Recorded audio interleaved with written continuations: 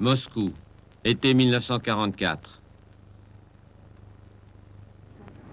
57 000 prisonniers allemands sont rassemblés dans les faubourgs de la capitale.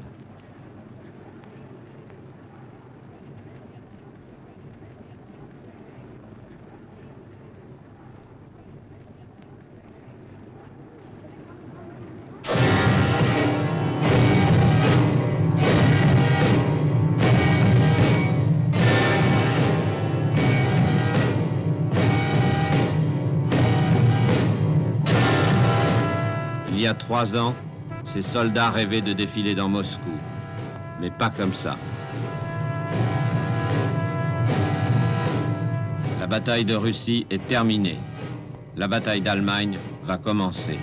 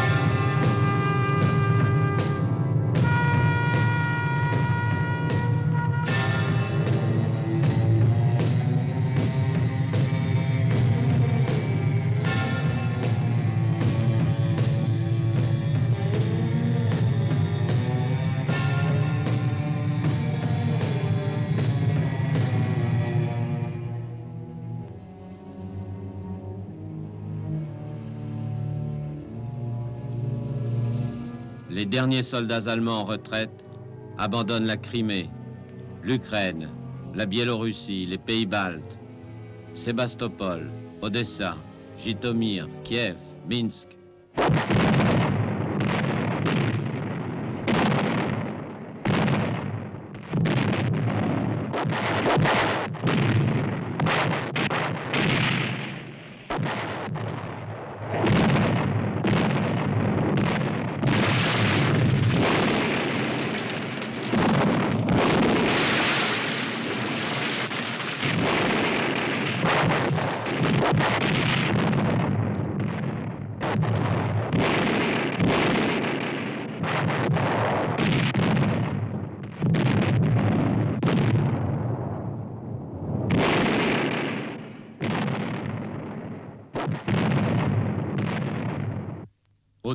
1944. À l'est, les armées soviétiques sont entrées en Pologne, mais elles marquent le pas devant Varsovie. La Roumanie et la Bulgarie sont occupées. Tito et ses partisans ont libéré Belgrade. À l'ouest, les Alliés ont libéré la France, la Belgique et la moitié de la Hollande. Mais il reste quelques ports tenus par les Allemands, les poches de l'Atlantique. Royan, La Rochelle, Lorient, Brest et surtout Dunkerque. Sur le front de l'Ouest, tenu au nord par les Anglais, au centre par les Américains et au sud par les Français, les Alliés sont maintenant aux portes de l'Allemagne. Comment porter le dernier coup au Troisième Reich?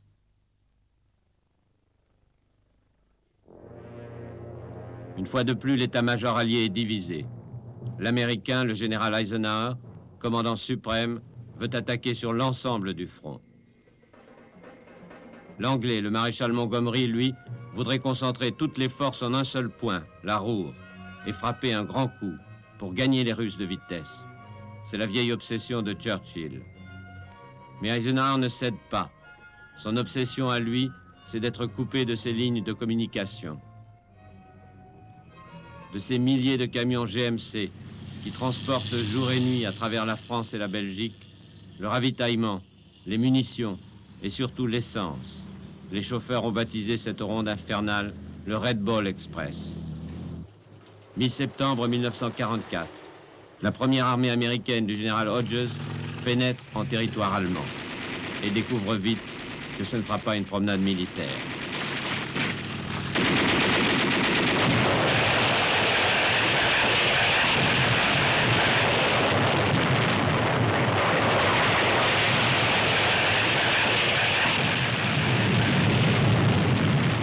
En mois, les Américains n'ont avancé que de 10 kilomètres.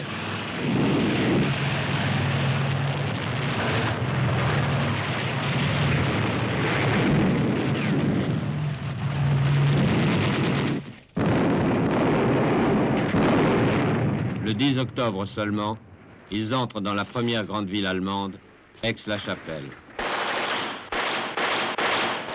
Une division allemande, expédiée de Prusse orientale, a reçu l'ordre personnel d'Hitler de défendre la ville rue par rue, maison par maison.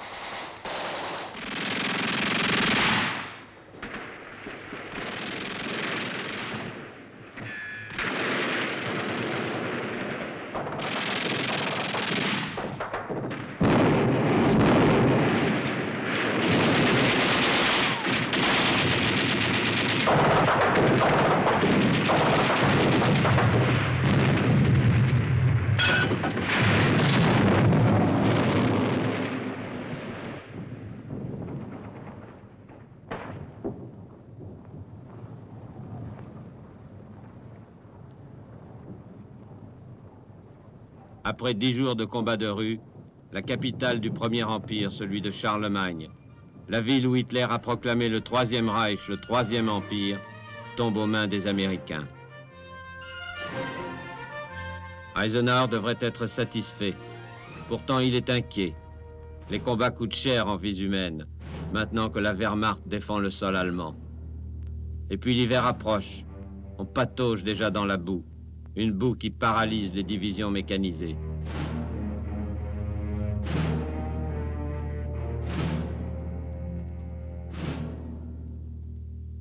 Pour couronner le tout, il y a des élections présidentielles en novembre en Amérique. Les délégations de députés et de sénateurs se succèdent au front. Les hommes politiques se méfient des généraux trop glorieux, de ce Patton par exemple, qui gifle ses soldats. Madame la députée Claire Bouslous est une femme charmante. Mais attention, son mari Henry Luce possède le plus grand magazine des États-Unis. Et les électeurs n'aiment pas qu'on fasse tuer les boys. Les boys, eux, votent le premier mardi de novembre 1944. Et comme toute l'Amérique, ils choisissent pour président, pour la quatrième fois, Franklin Delano Roosevelt.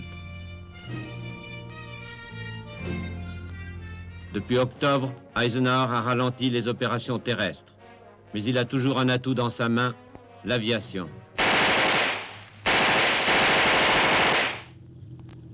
Et surtout l'aviation de bombardement, incarnée par un Anglais, le maréchal de l'air Harris, surnommé Bomber Harris, Harris la bombe. Un homme qui ne se pose pas de questions et qui s'est donné un double but, briser le moral des Allemands, détruire l'industrie nazie. Depuis deux ans, 8000 bombardiers anglais et américains basés en Grande-Bretagne déversent un tapis de bombes sur l'Allemagne, 24 heures sur 24. Le jour, les Américains, la nuit, les Anglais.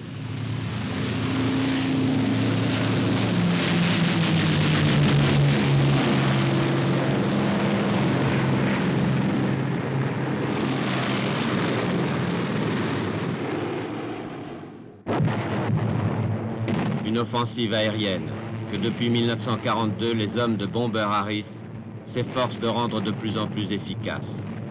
Parmi eux, le maréchal de l'air Anthony Dodgen.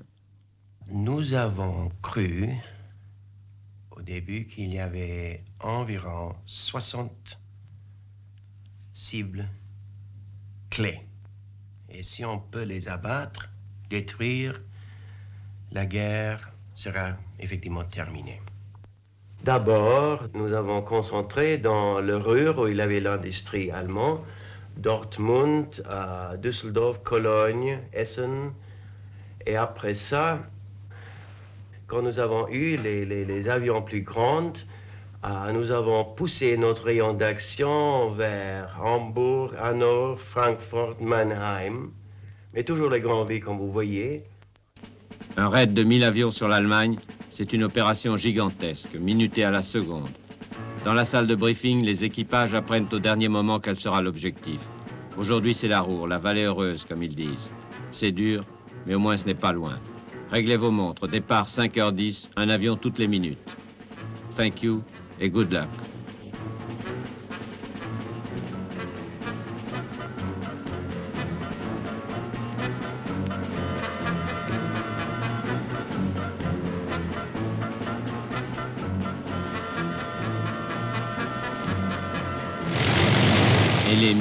Boeing B-17, les forteresses volantes, décollent d'une vingtaine d'aérodromes disséminés dans le sud de l'Angleterre.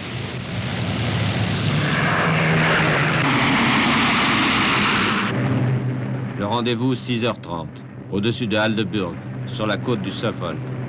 Ceux qui sont partis les premiers sont obligés de tourner en rond et d'attendre une heure que les derniers arrivent.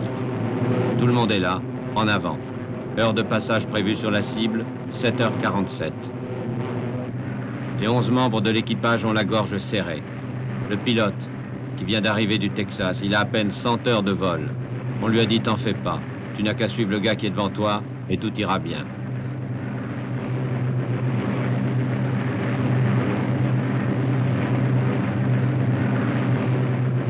Les mitrailleurs qui sont à l'air libre par moins 30 degrés, engourdis par le froid.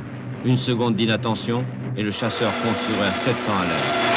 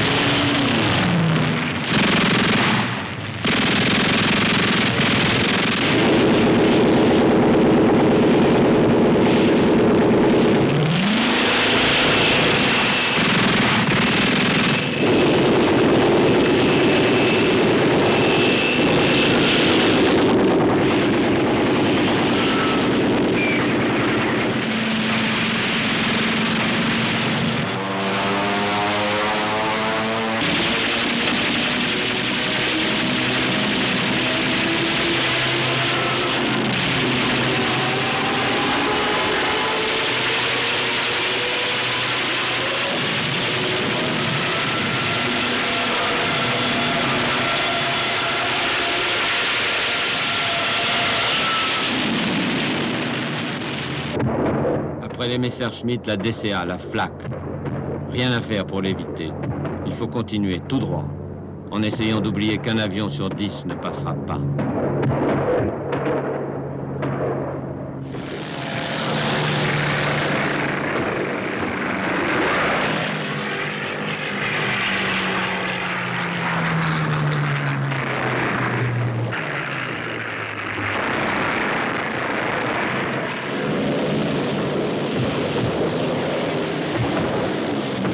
Pauvre Joe, c'était sa 30e mission, la dernière avant de rentrer à New York.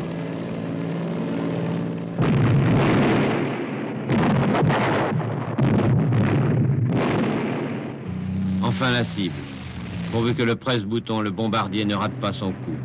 Sinon, il faudra revenir dans ce sale coin une deuxième fois.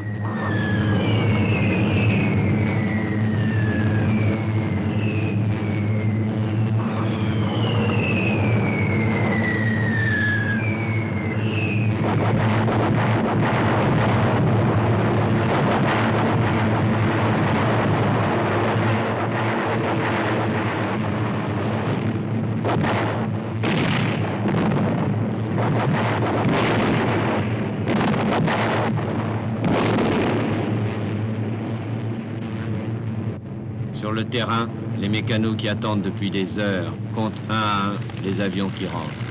Et d'abord les éclopés.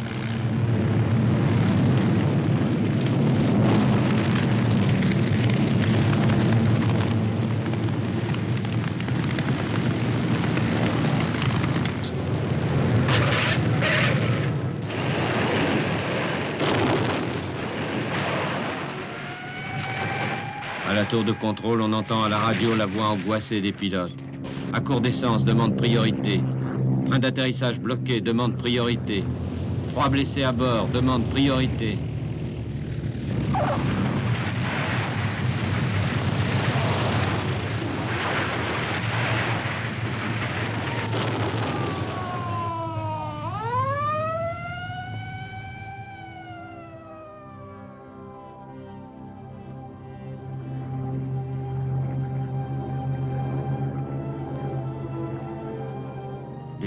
000 aviateurs américains partis ce matin à l'aube, à bord de ces 1000 forteresses, combien manquent à l'appel? En quelques mois, la 8e Air Force américaine a perdu 4700 bombardiers. Et combien d'Anglais? Au lieu de Bomber Command, ils ont perdu 47 000 et quelques centaines de membres d'équipe personnelle. Ça, je crois que je peux illustrer peut-être en disant que de ma promotion de pilote élève à 1 sur 6 ont survécu la guerre. Bon, 1 sur 6 de mes amis et je peux le mettre en rapport si vous voulez. Je ne sais pas si vous le savez qu'il y avait 500 Français dans la Royal Air Force. 412 ne sont pas rentrés. 1 sur 6. Le même chiffre. Il faut trouver une parade. D'abord le Mosquito, un bimoteur anglais, plus rapide que les chasseurs allemands. Construit en bois et volant en rasmote, il échappe au radar. Il surgit à l'improviste, détruit ses objectifs avec une précision vite légendaire. Il mérite bien son nom, le moustique.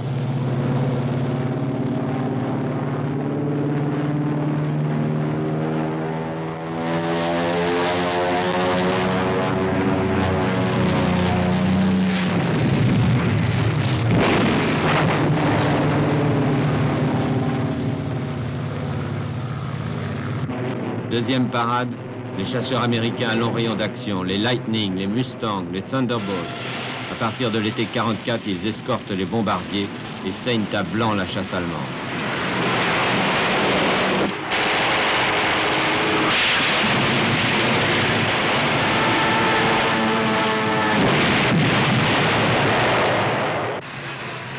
Enfin, les Alliés inventent des bombes de plus en plus puissantes.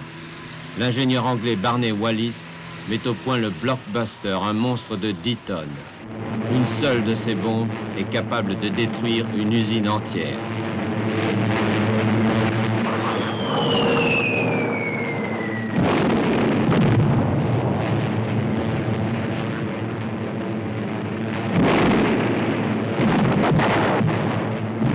De la Roure à la Silésie, l'industrie allemande est en ruine. Les aciéries Krupp d'Essen, les usines de roulement à billes de Schweinfurt, les raffineries d'essence synthétique de Pelitz ne sont plus que des carcasses d'acier tordues. Et pourtant, le maréchal de l'air Harris s'est trompé. L'aviation ne peut pas gagner une guerre. Sous les toits éventrés, les machines continuent à tourner. Mieux, l'industrie allemande n'a jamais autant produit. Un homme est responsable de cet exploit. Il s'appelle Albert Speer, il a 36 ans, il est architecte. Il a construit la chancellerie du Reich et depuis ce jour, il est devenu un des rares amis d'Hitler qui a fait de lui son ministre de l'armement. Comment a-t-il réussi, malgré les bombardements, à augmenter le potentiel de guerre nazie euh, parce que euh, j'ai eu un autre système euh, d'organisation. Avant moi, c'était des officiers militaires qui s'occupaient de de la production euh, militaire, de production d'armement, et dans mon temps, euh, je, je, chargeais les meilleurs fonctionnaires de l'industrie, les techniciens, et ces techniciens, euh, c'était une organisation nouvelle des techniciens qui étaient, qui étaient en charge de toute l'industrie. Oui, mais je veux dire, étant donné qu'il y avait tellement de, troupes, d'hommes allemands euh, sur le front, qu'il y avait tellement de, prisonniers, de blessés, de morts, comment est-ce que malgré tout la production a pu continuer? Naturellement, euh, c'était une, euh, nous avons eu besoin des, travailleurs et on a déporté beaucoup de milliers, des millions des ouvriers des pays occupés dans ce temps-là. Les industriels allemands sont contents de M. Speer et du parti nazi, qui leur fournit de la main-d'œuvre gratuite, des millions de travailleurs forcés, des millions de déportés.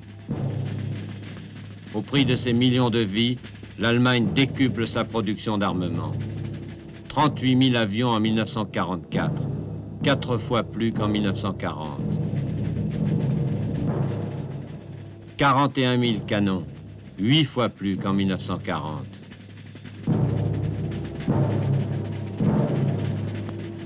Et 27 000 chars, 12 fois plus qu'en 1940.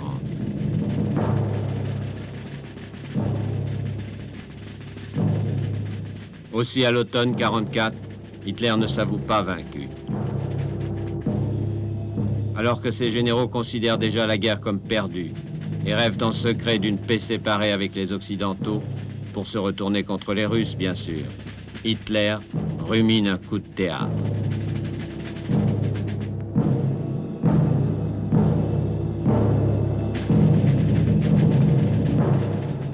Un des premiers à en être averti est le chef d'état-major du front de l'Ouest, le général Siegfried Westphal. Le 24 octobre, j'ai été au quartier général de Hitler en Prusse orientale. Hitler nous expliqua son plan en petit comité. Le front de l'Est, dit-il, est stabilisé. Le front de l'Ouest a été rétabli par miracle. Mais les miracles ne se reproduisent pas deux fois. On ne peut pas rester sur la défense. Il faut reprendre l'initiative à l'ouest.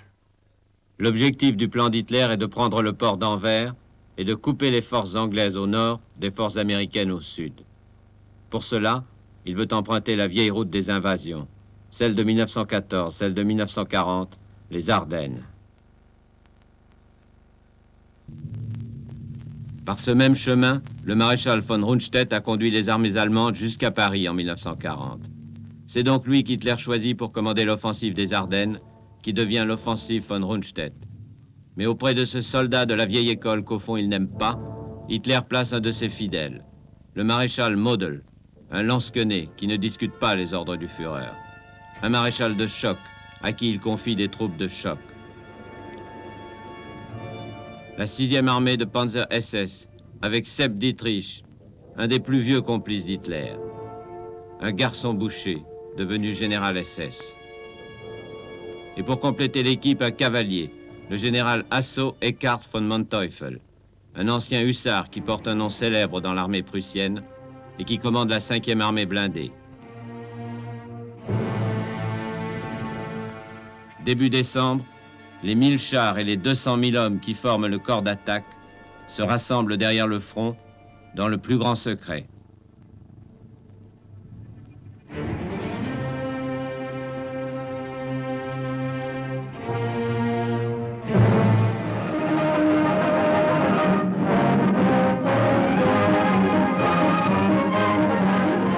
Pendant ce temps, les actualités militaires américaines préparent leur édition de fin d'année.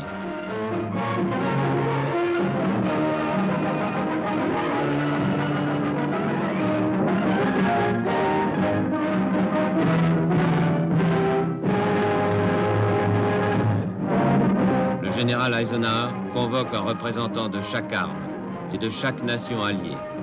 Et devant eux, il enregistre à l'avance ses vœux de Noël.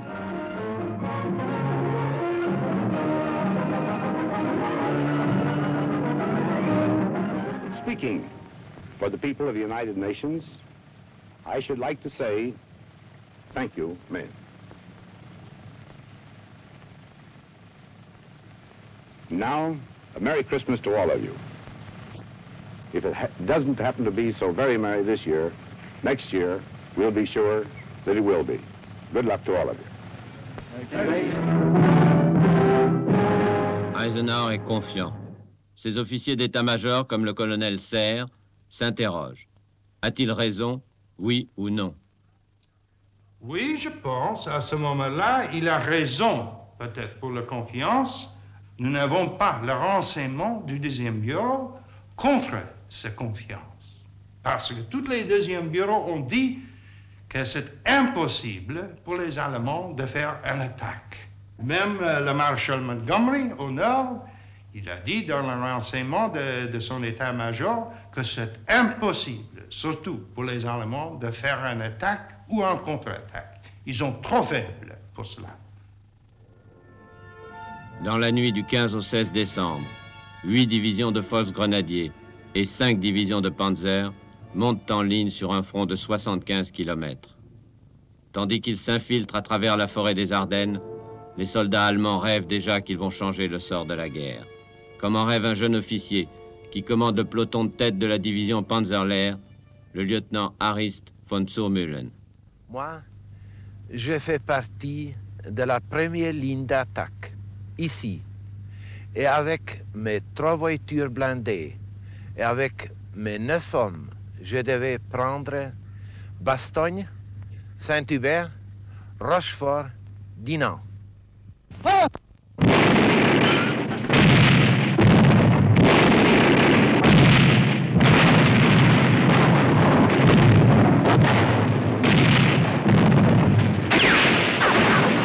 5h30, les grenadiers attaquent. L'objectif, la Meuse, à 100 km. Il faut l'atteindre en trois jours.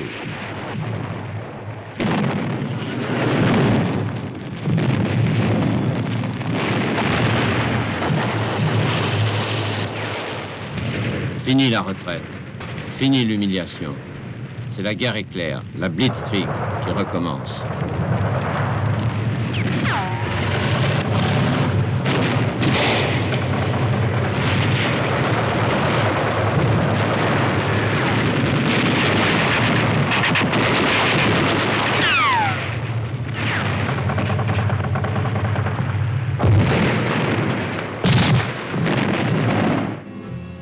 Matériel américain, une légende. Les forces grenadiers n'ont plus peur des tanks Sherman. Et ils commencent à recenser joyeusement le butin.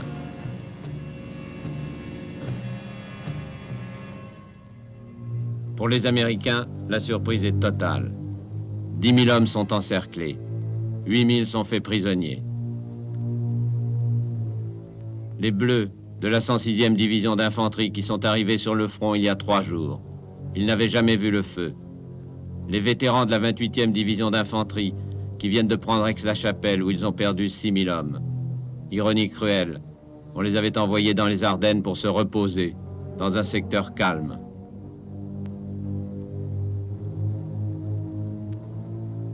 Les SS ont retrouvé le sourire, pas de doute, ils sont bien une race de seigneurs.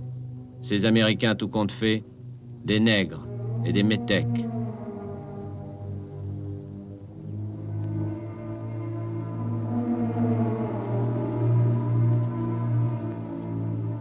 Groupe SS du colonel Piper ne fait pas de prisonniers. Il les massacre. 155 dans la journée du 17 décembre. 19 Américains désarmés à Hounsfeld le matin. À midi, les hommes de Piper forcent les 50 gardes du dépôt d'essence de Bullingen à remplir les réservoirs de leurs chars, puis les mitraillent sur place. Enfin, dans l'après-midi, 125 prisonniers américains attendent dans un champ, ici, à Boniez, près de Malmedy. Un char SS passe, les voit, s'arrête et tire dans le tas. 86 morts. C'était dimanche. Tout le monde était parti pour la messe à Malmedy. Sauf la tenancière du café, Madame Baudarvé. Les SS l'ont emmenée. On n'a jamais revu. Et un fermier resté pour nourrir ses bêtes, Henri le Joli, le seul témoin. Ils sont avancés avec le tracton les gens, plus ou moins, fait, donc, abattus là. Hein. Et moi, avec Madame Boudardi ici, donc, nous étions à côté de la maison, et plus ou moins nous avons vu cela. Donc, c'était tout de même pour nous un drôle de coup d'œil. Donc, nous nous avons même, je dirais bien, plus ou moins, de voir ça, plus ou moins, malgré que nous étions même allemands, qu'on avait même des sentiments plus ou moins révoltés sur la même affaire, que ce que vous voulez. On a fait. On s'est dit, c'est la guerre. Hein. Avec les corps des 86 morts de Malmedy, les Américains ressentent pour la première fois dans leur chair l'horreur des atrocités nazies.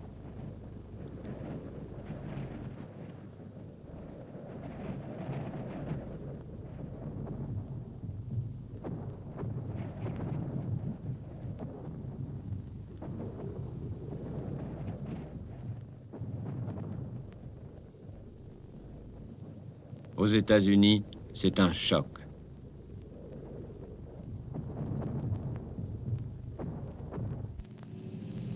En Belgique, c'est la panique. À travers l'Europe qui vient d'être libérée, de Liège à Namur, de Bruxelles à Reims et de Reims à Paris, la nouvelle résonne comme le tocsin. L'allemand revient.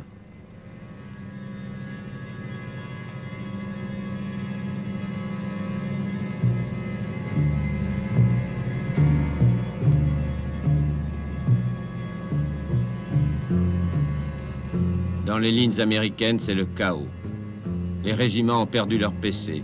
Les communications sont coupées, les unités tournent en rond. Où sont les Allemands? Devant Derrière Tout le monde est suspect, civil ou militaire.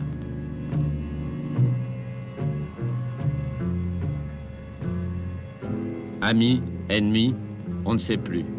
Il paraît qu'il y a des parachutistes, et même des Allemands déguisés en soldats américains.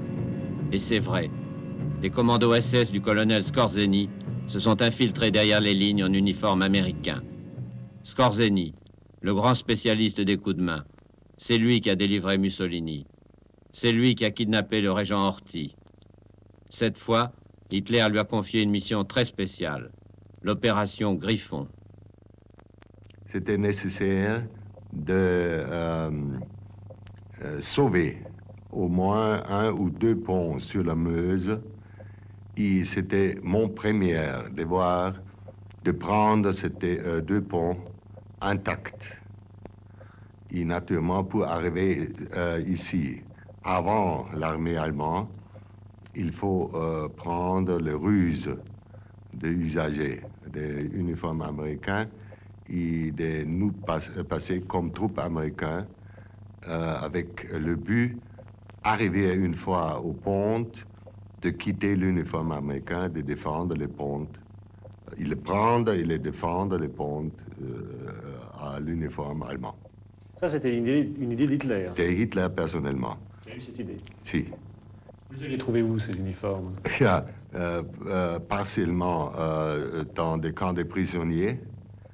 On a les trouvé dans des magasins alliés qu'on a récupérer. Avant, déjà, euh, près de Paris, par exemple, on a fait une petite compte offensif, on a trouvé un grand magasin.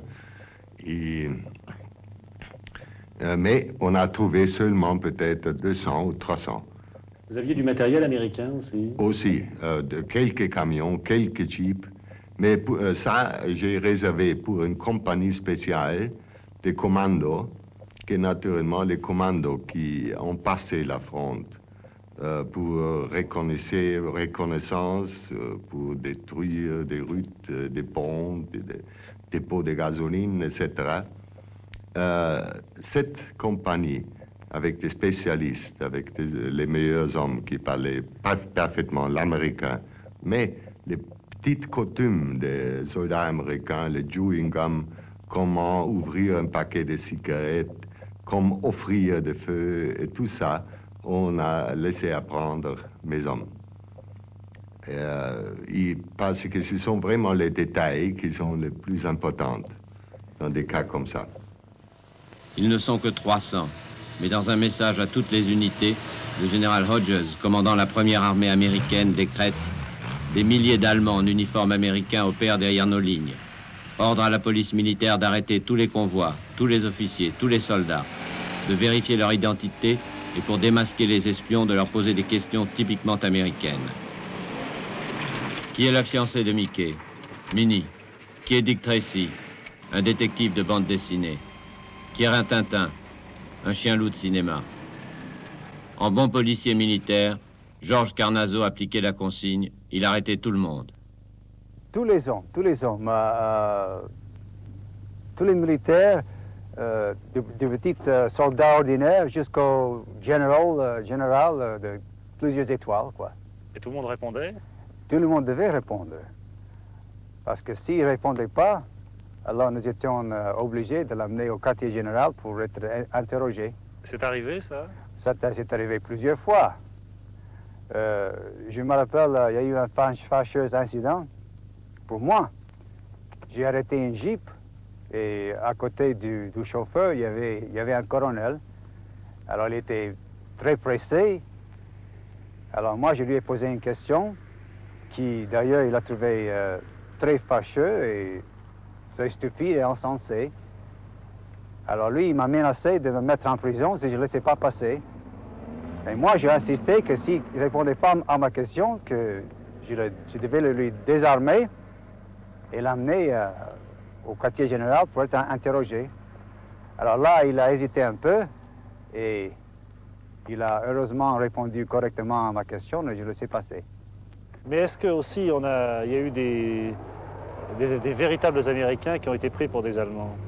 Ah, Il y en avait aussi, parce qu'il ne faut pas oublier que euh, nous, nous avions déjà combattu en Normandie, nous étions fatigués, énervés très émotifs. Et il y en avait parmi nous qui étaient très faciles euh, avec la gâchette. Et ils ont tiré sur, les, sur les vrais Américains, quoi. Il y en a qui, malheureusement, étaient blessés, assez graves. En revanche, des faux Américains de Skorzeny, bien peu sont capturés. Quatre en tout.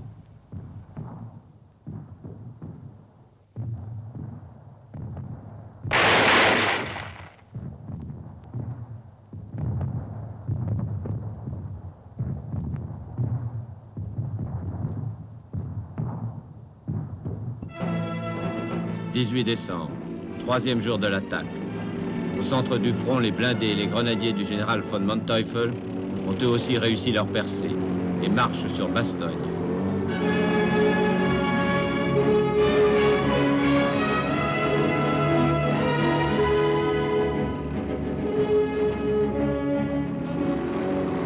Toujours en tête de la division Panzerlehr, les automitrailleuses du lieutenant von Zurmühlen on avançait au milieu des Américains en fuite.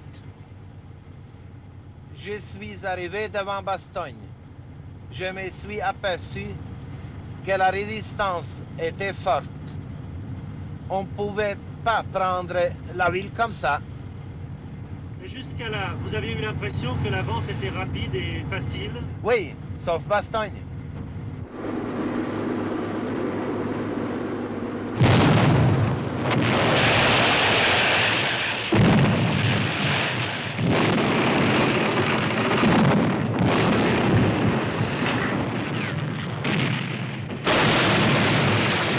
Dans Bastogne, les jeunes recrues de la 28e division américaine tiennent bon sous l'avalanche.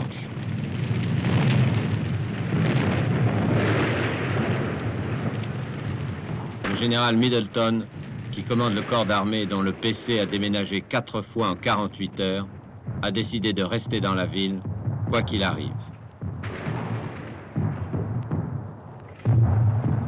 Mais ses troupes sont décimées. Le 110e régiment d'infanterie qui couvre la ville a perdu 2750 hommes, tout son effectif.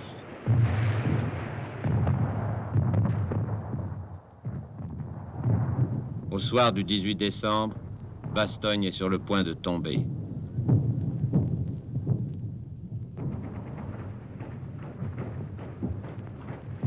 Mais le 19 à l'aube, des renforts arrivent. Les parachutistes, les 11 000 hommes de la 101e division aéroportée, qui viennent de Reims et qui ont roulé toute la nuit. Des vétérans du débarquement et des combats de Normandie qui reçoivent une mission de sacrifice, tenir Bastogne face à trois divisions allemandes.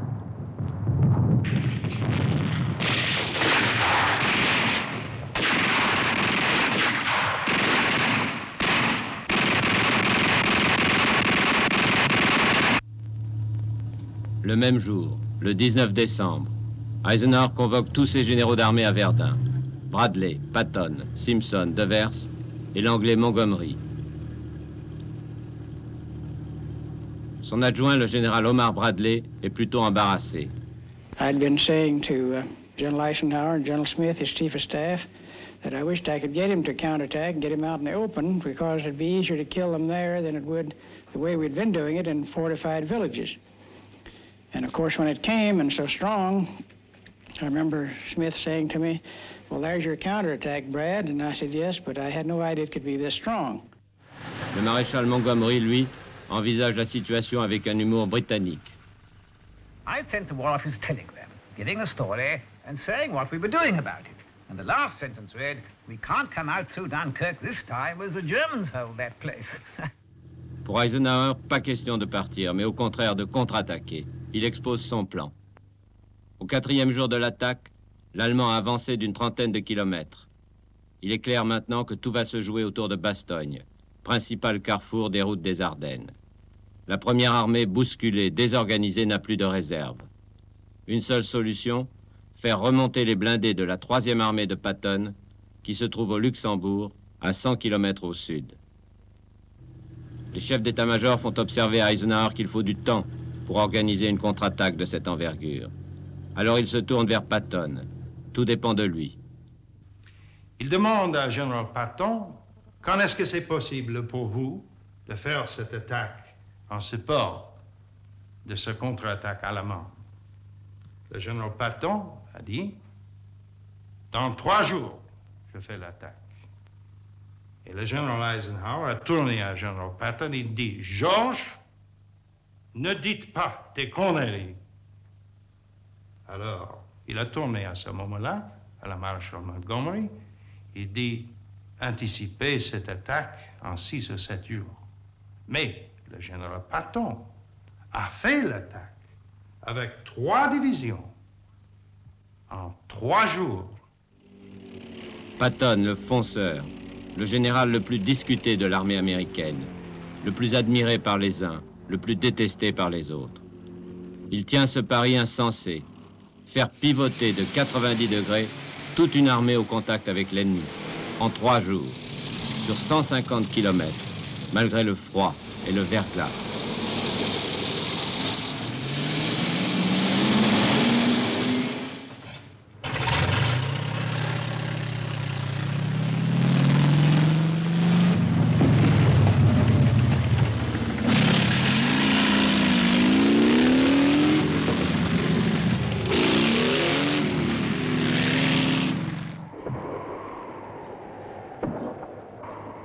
Troisième jour, le 22 décembre, comme prévu, Patton lance ses hommes vers le nord, vers Bastogne, sur les routes enneigées des Ardennes. Avec eux, un jeune soldat de 16 ans, John Gint. Ce, ceci était ma route. Nous étions venus à la rescousse de Bastogne.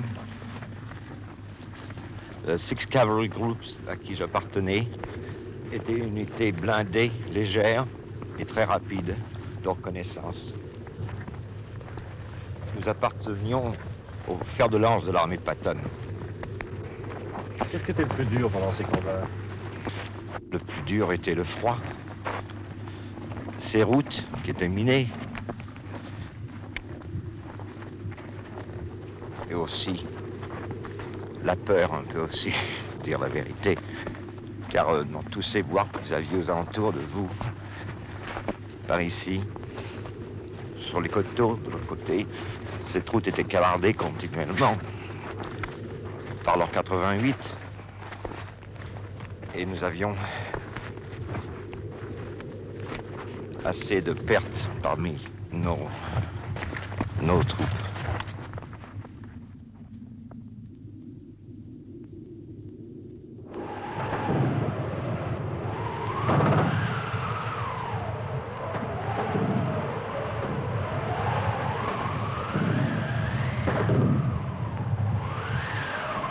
Le 22 décembre, journée fatidique pour tout le monde.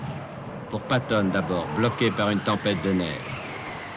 Exaspéré, il demande à son aumônier de composer une prière spéciale pour que le temps change. Et il lui dit, mettez Dieu de notre côté, c'est votre boulot.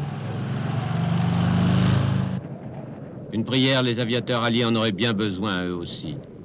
Ils sont cloués au sol par le mauvais temps depuis le début de l'offensive.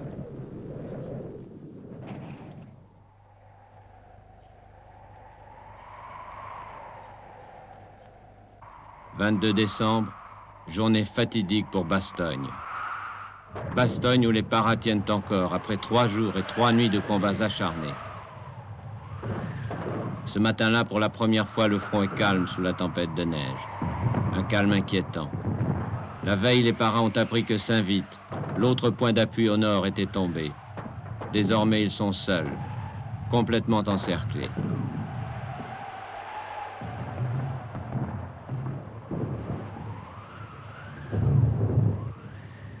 Toute la matinée, les patrouilles de reconnaissance cherchent le contact. Que préparent les Allemands?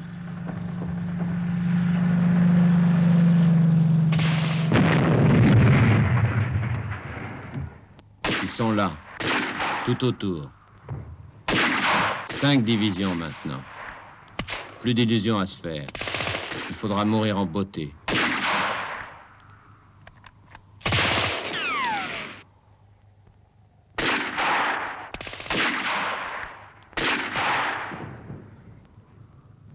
Midi, au PC de la division, une patrouille amène deux officiers allemands. Ils apportent un ultimatum. Ils tombent mal. Grâce à eux, le général Macauliffe, qui commande les paras, va devenir le Cambronne de Bastogne. They said, We have a surrender demand from the German commander. And they handed me the paper, one copy in English, one in German. I took the English copy and read it. And after I read it, I just said nuts. So they went out and typed it up to the German commander, nuts, signed the American commander. And Colonel Harper, who had brought in the surrender demand, took that message back to the Germans and uh, handed it to them and took them back to the outpost line. The German colonel said, if this, if this reply is favorable, I have authority to conduct further negotiations having to do with the surrender. And Harper said if the reply is not favorable, it consists of the single word nuts.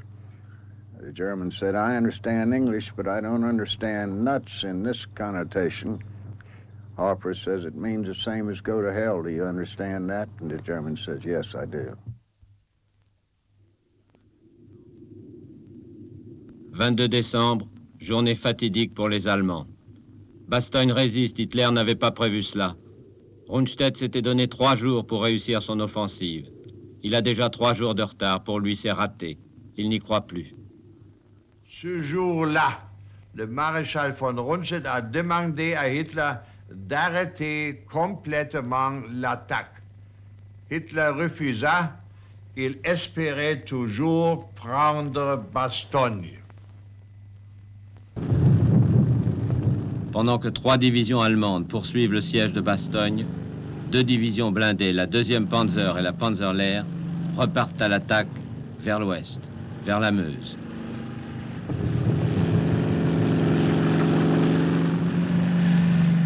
Et l'avance reprend, 60 km en deux jours. 24 décembre, le peloton de tête du lieutenant von Zurmühlen se heurte aux Britanniques devant Rochefort j'ai décidé d'attaquer par là. Mon ami qui commandait un autre groupe devait attaquer à mon signal de l'autre côté. J'ai attaqué. J'ai envoyé un fusée, mais les autres ne sont pas venus. J'ai dû m'arrêter. Qu'est-ce qui s'était passé? Après, j'ai retrouvé mon ami. Il m'a dit qu'il était embourbé. Mais longtemps après, il m'a avoué qu'il avait eu peur. Il avait eu peur des canons anti-chars, comme un récit. Qu'est-ce que vous avez pensé? J'ai trouvé ça normal et humain. C'est toujours mon ami. La division Panzerlehr n'ira pas plus loin que ce pont. Le cœur n'y est plus. La route a été longue entre Moscou et Bastogne. Il y a une chose que nous refusions absolument. C'était de connaître le nom des nouveaux officiers. On ne voulait pas leur parler, avoir les relations personnelles, commencer une amitié.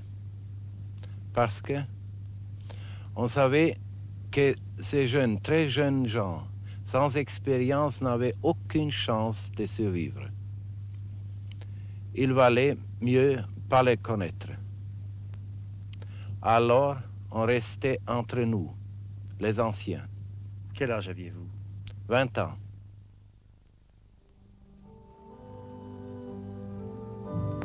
Le lendemain, c'est Noël. Sombre Noël. Pour les Anglais et les Canadiens, c'est la trêve. Le temps d'une tasse de thé.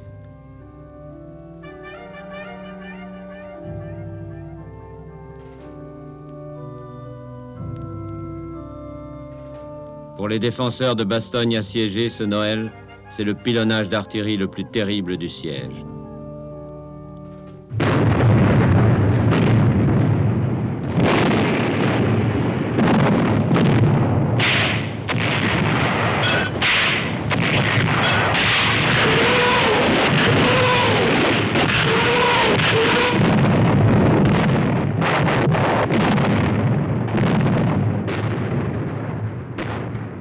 Allemands, ce Noël, c'est une cigarette, une cigarette américaine.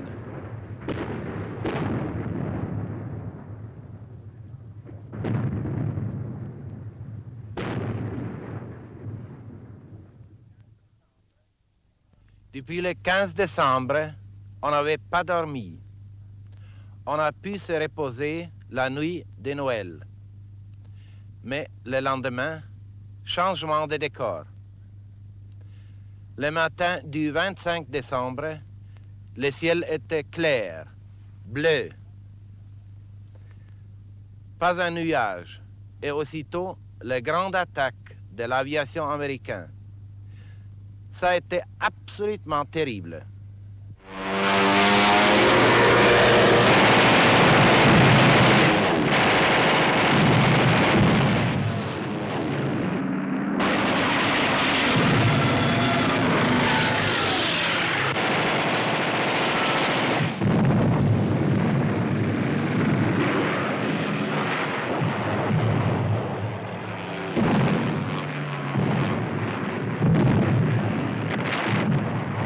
Rundstedt avait dit à Hitler, tout dépendra de l'aviation. Il ne s'était pas trompé.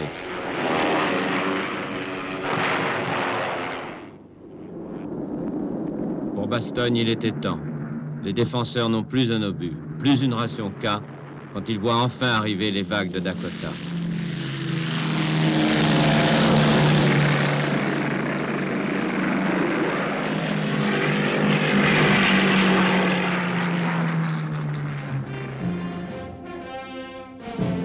Lendemain, 26 décembre, en fin de journée, les avant-gardes des blindés de Patton, commandés par le colonel Creighton Abrams, brisent l'encerclement allemand et entrent dans Bastogne.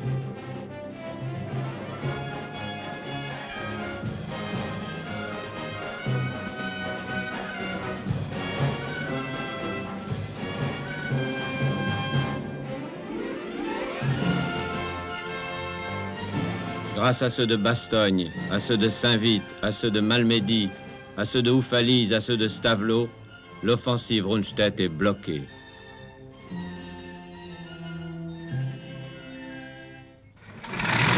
Hitler est furieux contre ses généraux, contre le beau temps, contre le mauvais sort, contre l'aviation.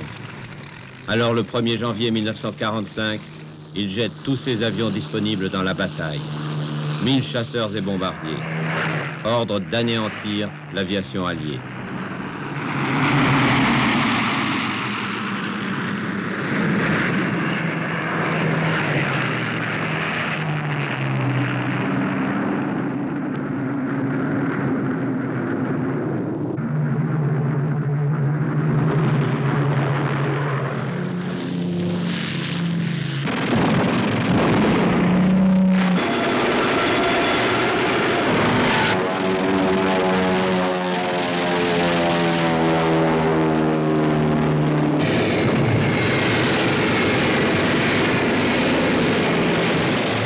Les alliés qui fêtaient le nouvel an décollent en catastrophe.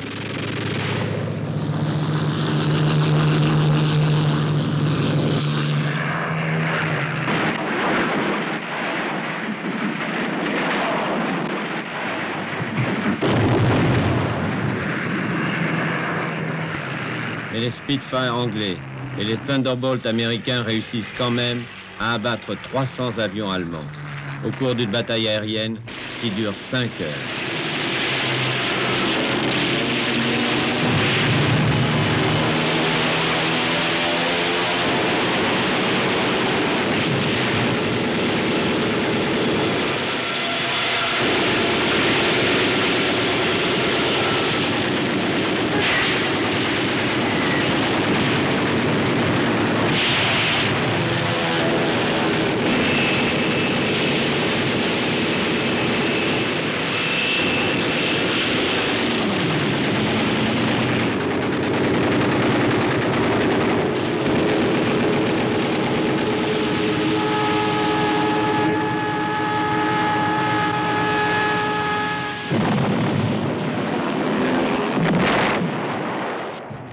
Les 27 aérodromes de Belgique et de Hollande attaqués par surprise, combien d'avions alliés ont été détruits ou endommagés au sol ce jour-là?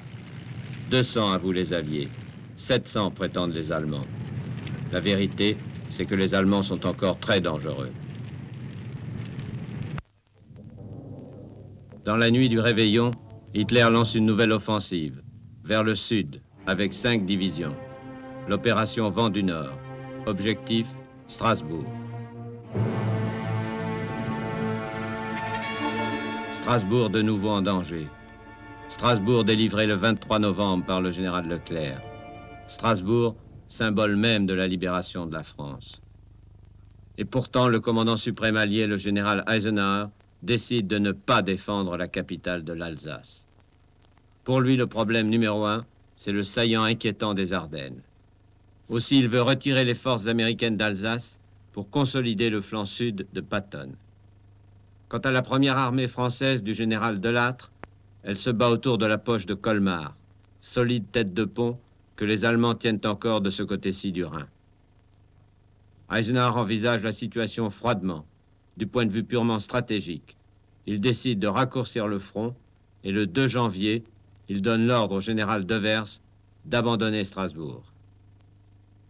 Le général Touzé du Vigier est envoyé immédiatement par De Gaulle auprès du général américain Devers, qui est responsable du front d'Alsace. Il commandait le groupe d'armée et il était angoissé lui-même. Je l'ai trouvé extrêmement pris entre l'obéissance aux ordres de chef et les sentiments personnels qu'il avait, lui, car il m'a dit, mon général, je vous comprends bien les Français, car je vais, une de mes deux grand-mères était strasbourgeoise. Alors, il avait des larmes plein les yeux et je sentais que homme-là était absolument martyrisé par la décision qu'il devait prendre et qu'il devait suivre les ordres de son patron. Le 3 janvier au matin, les Américains commencent à exécuter ces ordres. Le premier à s'en apercevoir est un agent de police qui monte la garde sur ce pont, Henri Pachery.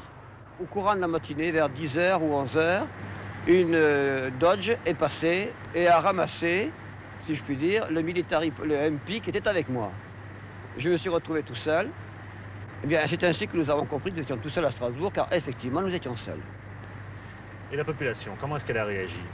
Bien, la population, nous d'après ce que j'ai pu voir, la population était quand même euh, apeurée, effrayée, euh, par le fait même que ces gens-là, il faut les comprendre, et qui n'avaient pas voisé lorsque Leclerc est arrivé sur Strasbourg.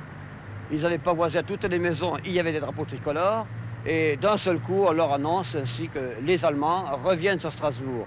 Avoir eu six semaines de liberté après trois années de continuelle euh, pression, de continuelle peur, et croire encore une fois qu'ils reviennent, c'était au-dessus euh, de mes forces à moi. Euh, c'était une panique, une, une, véritable peur comme je n'en ai plus jamais connu, ni les bombardements, ni rien, mais de savoir qu'ils vont revenir. Aussi, Madame Siegfried, avec des milliers de Strasbourgeois, fuit vers l'intérieur, vers les Vosges, vers l'armée française, pour la quatrième fois en deux générations.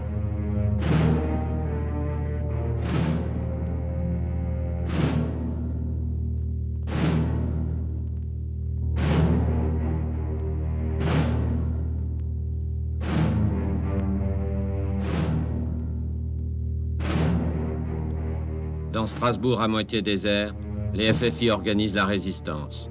Et le général Duvigier, qui a été nommé gouverneur militaire de la ville, court à Paris alerter le général Juin. Juin m'a pris par le bras et au poste gymnastique, nous avons été voir ensemble le général de Gaulle, qui devant la carte m'a fait répéter ce que j'avais appris la veille au soir à Vittel. s'est retourné très calme, comme toujours, vers son chef d'état-major, en disant Juin, tu vas faire deux choses. Tu vas d'abord dire à, à Delattre de prendre dans sa zone Strasbourg et de prendre la défense de Strasbourg à sa charge. La deuxième chose que tu vas faire, tu vas me préparer deux, deux télégrammes, l'un à, à Winston Churchill et l'autre à Roosevelt, pour leur dire que je prends la décision de défendre Strasbourg quoi qu'il arrive. Le 3 janvier, Churchill arrive à Paris en plein drame. De Gaulle et Eisenhower sont dressés l'un contre l'autre.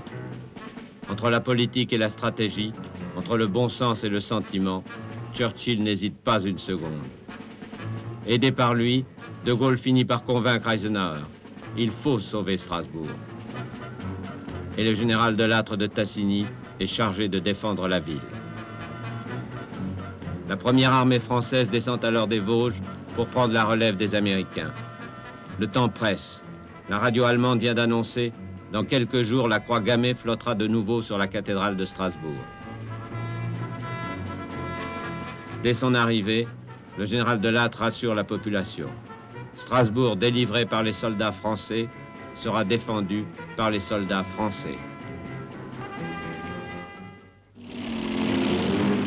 Ce jour-là, 7 janvier, les Allemands ne sont plus qu'à 25 km au sud de Strasbourg.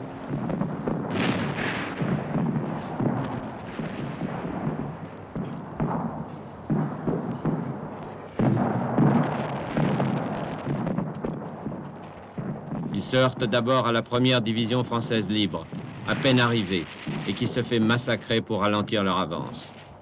Ils font quelques prisonniers, les survivants du bataillon du Pacifique, pratiquement anéantis. Puis dans la banlieue de Strasbourg, les FFI de la brigade Alsace-Lorraine d'André Malraux subissent le choc sans reculer. Pour le général Delattre et le général Duvigier, la situation est très grave.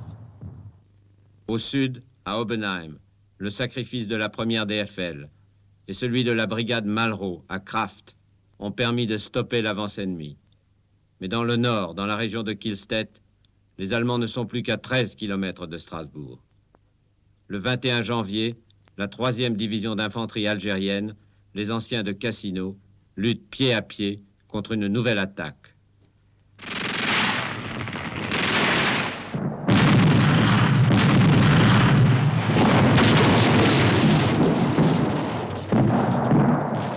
Mais un groupe de combat de la 2e DB, commandé par le colonel de Langlade et arrivé dans la nuit, intervient et brise l'élan des Allemands.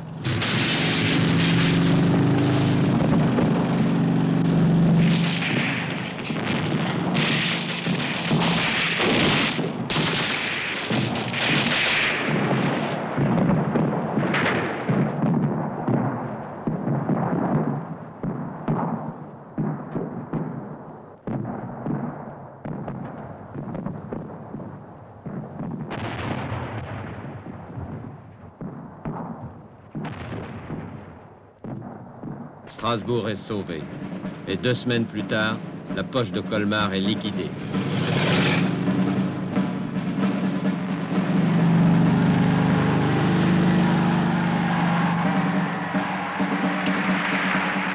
Le 11 février, le général de Gaulle peut venir à Strasbourg pour un tédéum à la cathédrale.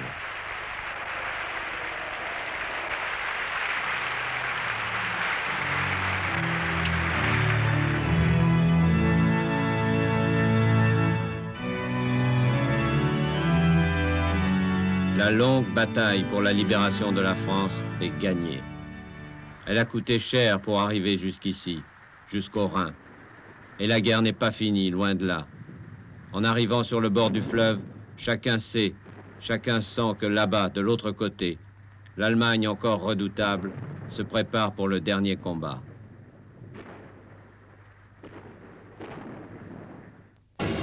Au milieu des ruines, Hitler croit encore au miracle. Les armes secrètes. Oui, il les annonce depuis des mois, mais cette fois, ça y est, elles sont là. Hitler jubile. Vous verrez, nous allons détruire les armées alliées. Et après, nous repartirons à la conquête du monde. Avec des avions qui volent deux fois plus vite que tous les autres. Et sans hélice, comme le Messerschmitt 262. Grâce à des moteurs à réaction, une révolution. Les meilleurs pilotes de la Luftwaffe s'entraînent déjà sur cet appareil, comme le major Wilhelm Herget, 72 victoires. C'était le mois février 45. J'ai vu la première fois ce avion et j'avais aussi tout de suite une chance pour voler. Et j'étais vraiment surpris sur la vitesse. Oui. Ici, c'est un instrument pour mesurer la vitesse et cet avion faisait presque 1000 km par heure et c'était dans l'année 45 l'avion plus vite du monde.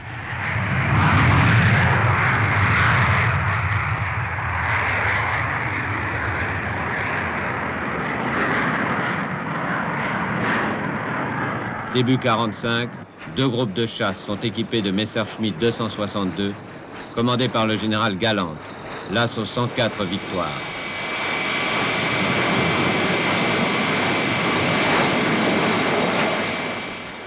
Encore un peu de temps, et ils auront bientôt l'avion fusée, le Messerschmitt 163, qui monte à 3000 mètres en une minute.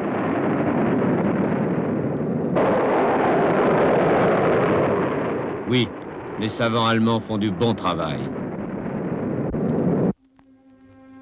Et ce n'est pas tout.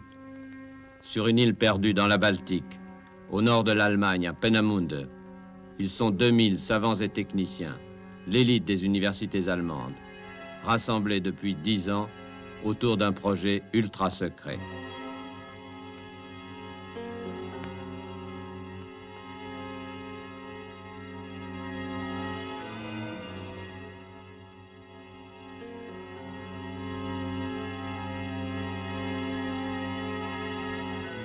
Parmi eux, un ingénieur, Helmut Habermann, et un professeur de physique, Otto Müller. Leur chef a 32 ans. C'est un jeune physicien de génie. Il s'appelle Werner von Braun. Depuis qu'il est sorti de l'université de Berlin à 19 ans, il ne rêve que d'une chose, l'espace. Pour le moment, la machine de guerre des nazis l'a mobilisé. Pour eux, il a fabriqué cette fusée. Mais ce n'est pas un engin pour aller dans la Lune. C'est une arme de représailles, une Vergeltungswaffe. En abrégé, un V2. Vous voyez, cet engin ici avait bien sûr ici sa tête charge utile, une tonne d'explosifs, suivie par la case d'équipement qui contenait tous les appareils de pilotage et guidage, suivi de nouveau par les deux réservoirs des carburants, des comburants, l'alcool et l'oxygène. Alcool et oxygène entraient dans les pompes, étaient mis sous pression et après introduits par les injecteurs dans la chambre de combustion. Après, en bas, nous avons une tuyère Laval qui euh, servait à donner au gaz sortant de l'engin une grande vitesse.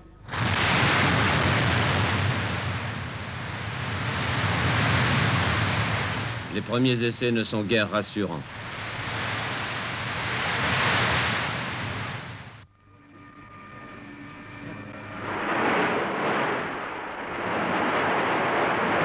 À chaque départ de fusée, les savants de Penamunde se demandent avec inquiétude si elle ne va pas leur retomber sur la tête. Et de temps en temps, cela arrive.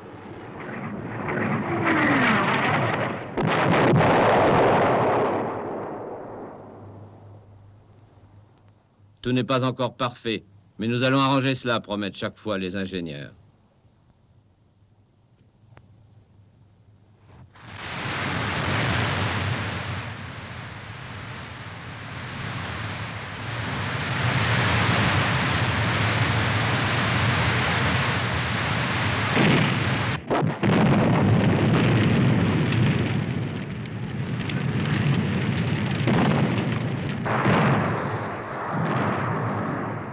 Fallait innover en tout. Téléguidage, ordinateur, radar. En deux ans, tous les problèmes vont être résolus par l'équipe de savants de Werner von Braun et par le responsable du programme V2, le général Dornberger.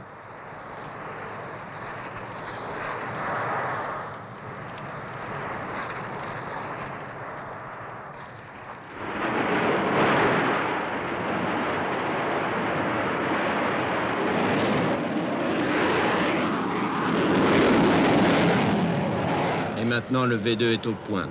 Rayon d'action 400 km, vitesse 5000 km à l'heure. Rien ne pourra l'arrêter.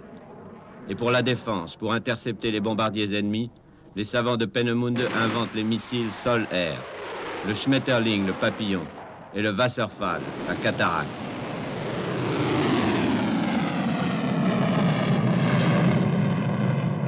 En ce début de 1945, les savants allemands n'ont pas fini de rêver on a encore pensé à un engin de longue distance, disons, qui permettait de parcourir 4000, 5000 km.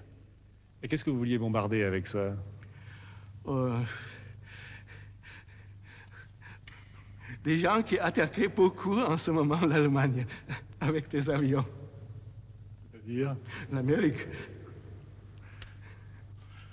D'aller plus loin, on n'y pensait pas à ce moment-là.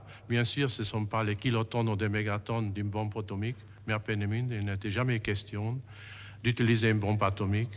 Et moi, je ne sais pas si ailleurs euh, la question n'a été évoquée. Cela devait sans doute dépasser les possibilités allemandes, n'est-ce pas? Il dépassait, à mon avis, euh, à ce moment-là, les possibilités des recherches allemandes. Tout le monde était déjà mobilisé pour une recherche et c'était trop tard. Hitler lance 5000 V2 en six mois, 2000 sur Londres, 1600 sur Anvers et une trentaine sur Paris. Mais c'est trop tard en effet, et trop peu. 5000 tonnes d'explosifs en six mois, alors qu'un seul raid de bombardiers américains déverse 3000 tonnes de bombes en une heure.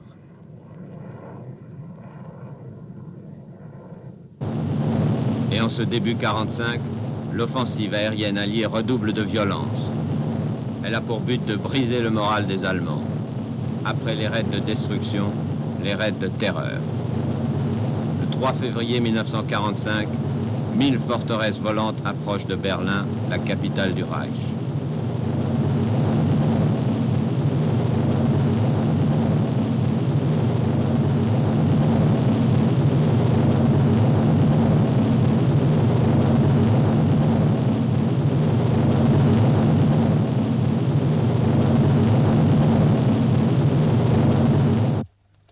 Dans la salle des opérations de la défense antiaérienne de Berlin, une voix trop connue retentit.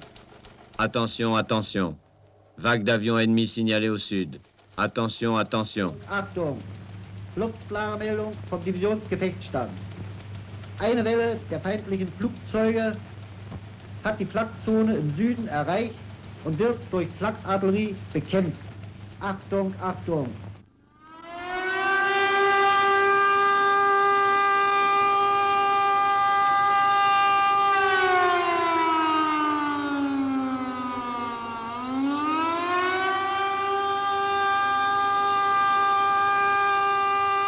Comme chaque Berlinois ce jour-là, M. Schmilinski se précipite dans son abri.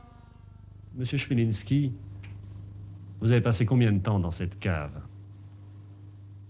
En additionnant, certainement, euh, plus de 100, plus de 100 nuits euh, pendant la guerre.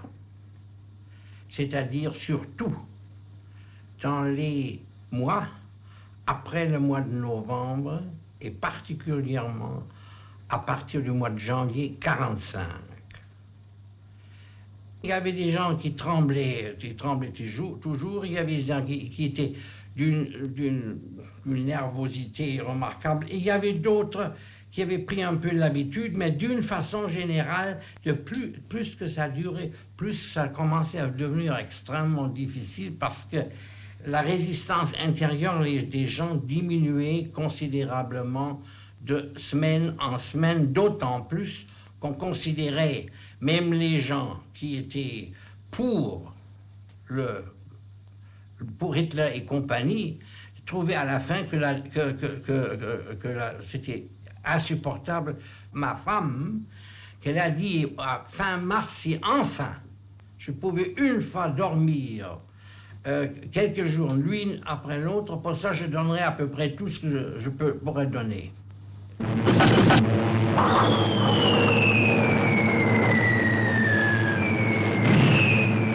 Un des objectifs ce jour-là, le quartier des ministères, la Wilhelmstrasse, la chancellerie d'Hitler, le ministère de l'air de Göring, le ministère des Affaires étrangères de Ribbentrop, le ministère de la propagande de Goebbels et le quartier général de la Gestapo.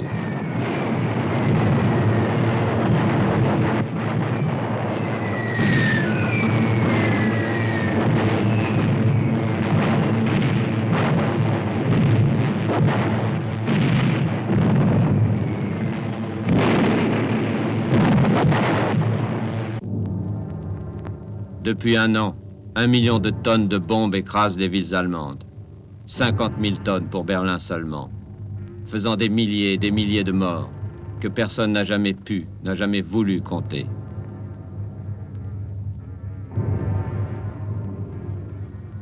Et un million de sans-abri.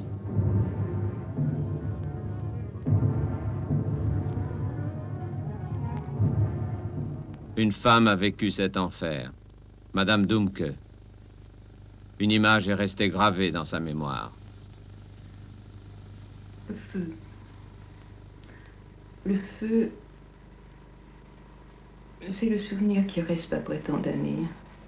Ne pas dormir pendant des mois, nuit par nuit, s'attendre dans la journée à n'importe quel moment à ce que ça recommence? Et le tout pendant des semaines. Ne jamais manger à sa faim. Ça empêche de penser. Il n'y a plus de place pour les, questions de philosophie, même de religion. Si on priait, c'était involontairement sous l'effet d'une mine qui était descendue très près. C'était, je ne sais pas, quelque chose qui remontait peut-être de l'enfance, mais ce n'était pas le genre de prière qu'on fait d'habitude. Et comment peut-on vivre dans, de cette manière? Assez difficile à dire, presque 30 ans après. On, on était absolument absorbé par euh, les problèmes matériels. Il y avait bien des bombardements, c'est entendu, mais enfin, il n'y avait rien à manger non plus. Le 13 février, un mardi, le mardi gras, le commandant en chef du Bomber Command, Bomber Harris, lance trois vagues de B-17 et de Lancaster sur l'Allemagne. Objectif, Dresde. Dans leur soute, 650 000 bombes incendiaires.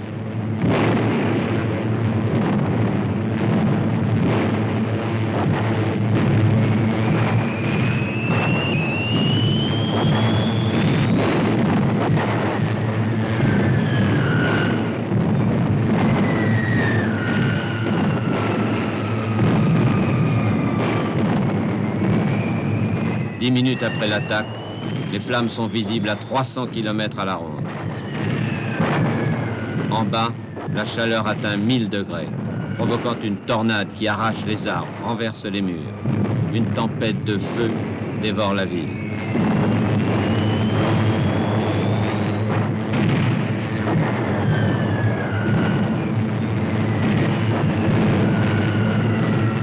Et 135 000 personnes, hommes, femmes, enfants, périssent dans ce brasier en quelques heures. Est-ce un cas de conscience pour les pilotes de bombardiers, comme le maréchal de l'air Dudgeon 135 1000 personnes tuées, plus qu'Hiroshima. Est-ce que ce raid sur Dresde était justifié? Je crois que c'était justifié à ce moment-là, parce que c'était notre but essentiel de éliminer le désir et le potentiel pour les Allemands de faire la guerre contre nous.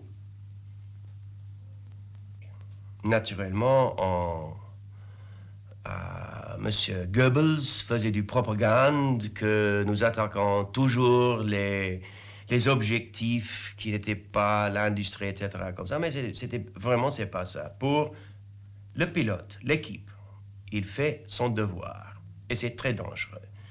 Euh, on peut revenir après, en arrière-pensée, si vous voulez, avec des larmes de crocodile. Ah oui, si on n'a pas attaqué cette ville ou cette, ville-là, oui, bien, bien sûr. Mais à ce moment-là, c'était le désir absolu de terminer la guerre.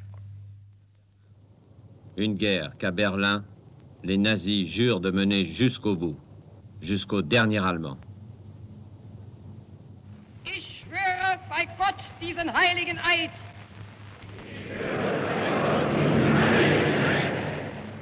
Dass ich dem Führer des Großdeutschen Reiches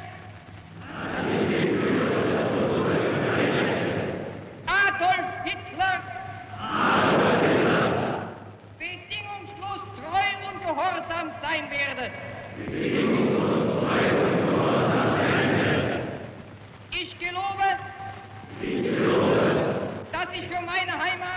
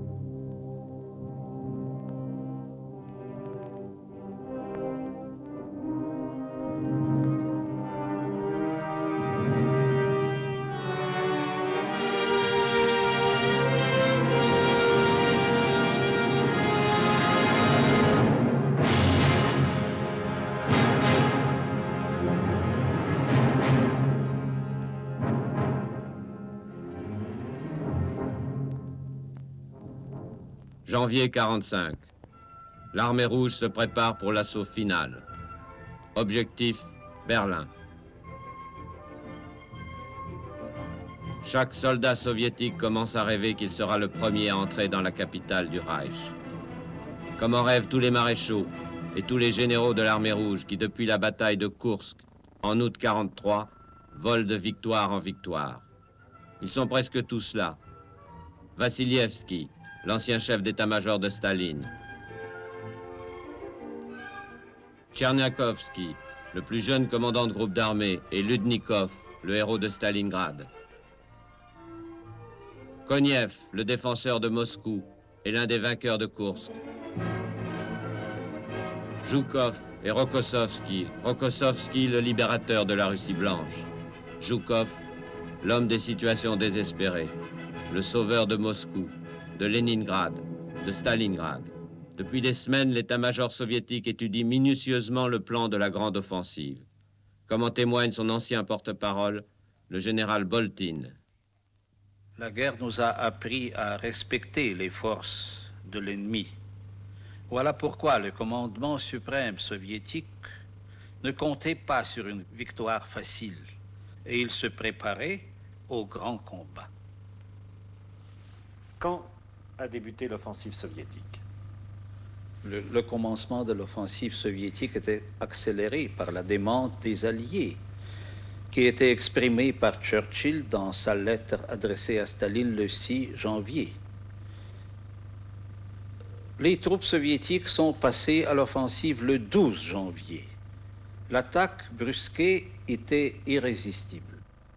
4 millions de soldats soviétiques s'élancent sur un front de 500 km, de la mer Baltique aux Carpates. Ce jour-là, Berlin est encore loin. Au nord, les groupes d'armées de Tcherniakovsky et de Rokossovski marchent en direction de la Prusse orientale.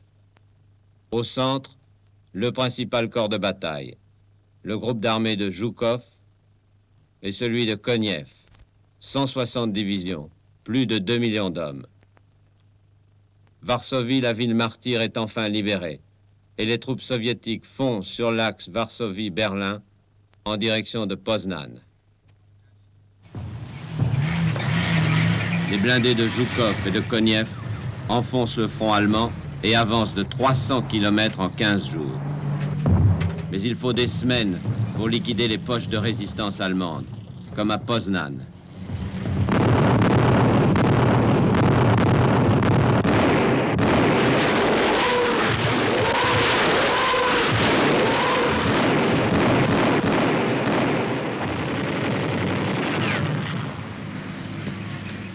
Siège de Poznan a duré un mois. Des 60 000 soldats allemands de la garnison, 23 000 seulement sont faits prisonniers. Les autres sont morts.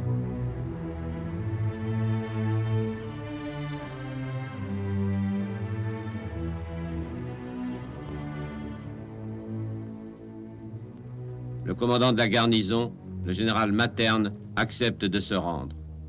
Son adjoint, lui, a préféré se suicider. Est-ce le soldat qui a voulu échapper au déshonneur ou le nazi qui a eu peur du châtiment? Pour les atrocités commises ici, dans les anciens territoires polonais annexés par Hitler, les chambres de torture, les exécutions en masse.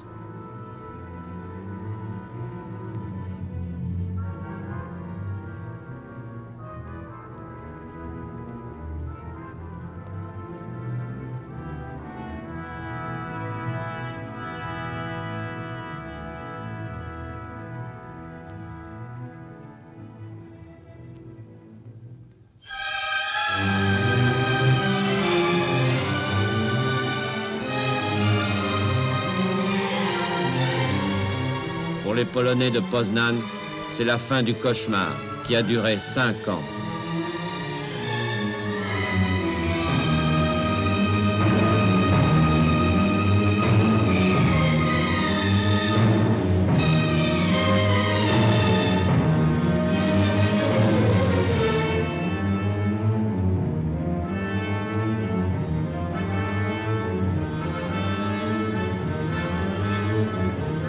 Fin du cauchemar aussi pour les prisonniers français enfermés dans leur stalag de Silésie. Ils avaient été capturés à Dunkerque. Ils rentreront par Odessa.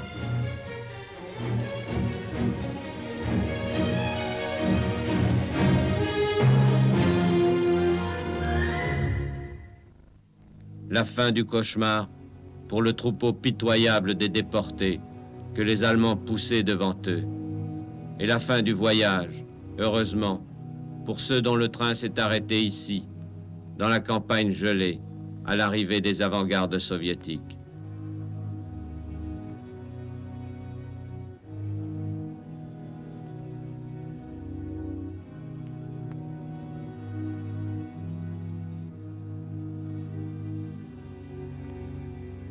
Au bout de la route, il y avait Majdanek, Treblinka, Auschwitz, les usines de la mort. Auschwitz, la solution finale. 4 millions d'êtres humains exterminés, méthodiquement, systématiquement.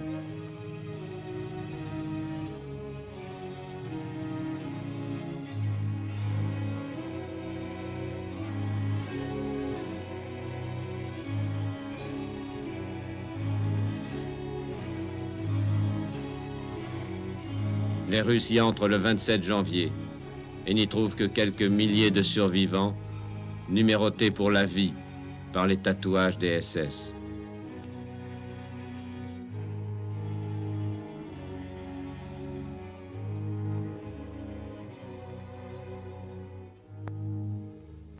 Avec sa compagnie d'assaut, le capitaine Joseph Prout a libéré un de ces camps. Naturellement, on savait par nos journaux que des choses pareilles se passent, mais on ne peut pas y croire, vous savez. Et quand on a vu, quand on est entré à Maïdanek, et quand on a vu des, des montagnes de cheveux de femmes, quand on a trouvé un hangar où il y avait, je sais pas, une centaine de mille de petits souillés d'enfants, pour mes soldats et pour moi, c'était le moment le plus terrible de la guerre.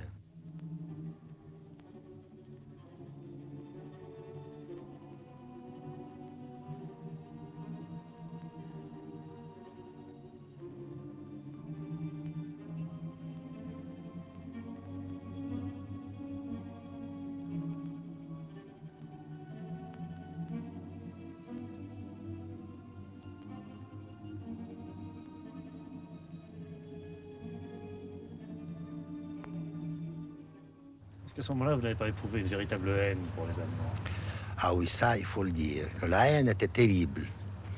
Et terminer cette sacrée guerre, terminer ce- cette force, anéantir cette force qui qui nous laissait pas vivre comme on voulait, ça c'était notre désir le plus ardent et c'est ça qui nous poussait.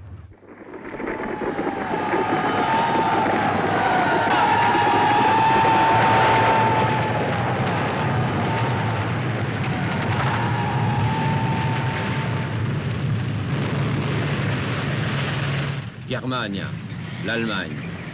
Fin janvier, les Russes entrent en Allemagne. L'Allemagne nazie, l'Allemagne abhorrée.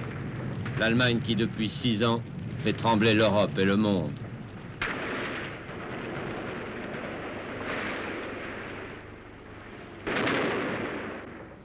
C'était une question d'orgueil d'être un des premiers qui a traversé cette frontière. Cette frontière terrible, n'est-ce pas?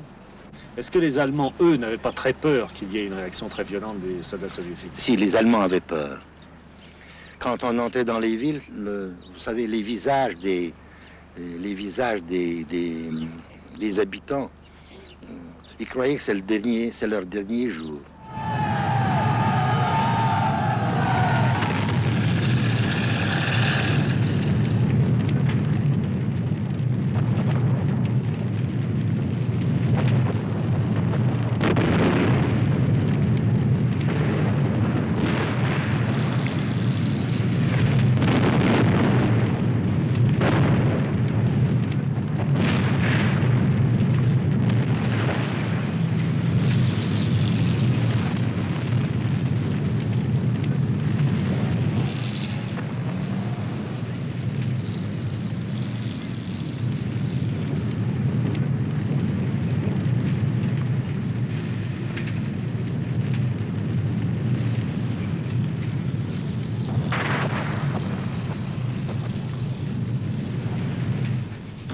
comme des fantômes les villes en flammes. Les troupes de Koniev occupent la Haute-Silésie. Celles de Joukov envahissent la Poméranie et le Brandebourg, au cœur de la Prusse.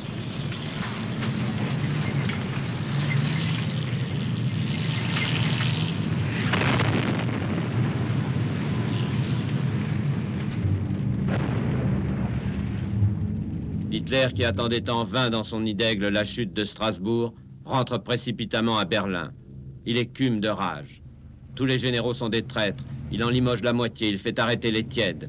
Il les remplace par de vrais nazis, des jusqu'au boutistes, comme Goebbels, comme Himmler.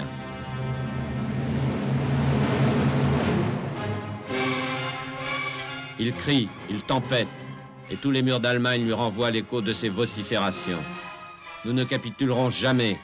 Protégez nos femmes et nos enfants contre les hordes rouges. C'est la victoire ou la Sibérie. Tenez bon.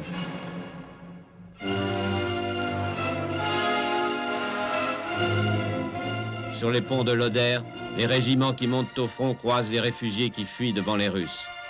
L'Oder, dernier rempart à l'est.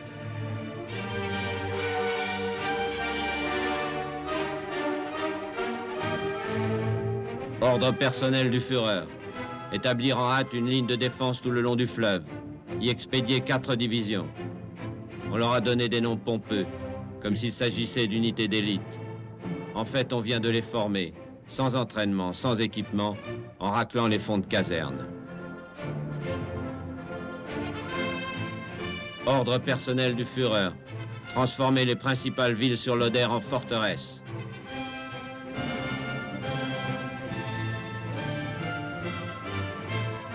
Ordre personnel du Führer. Envoyer pour les soutenir deux divisions blindées qu'on retirera du front des Ardennes.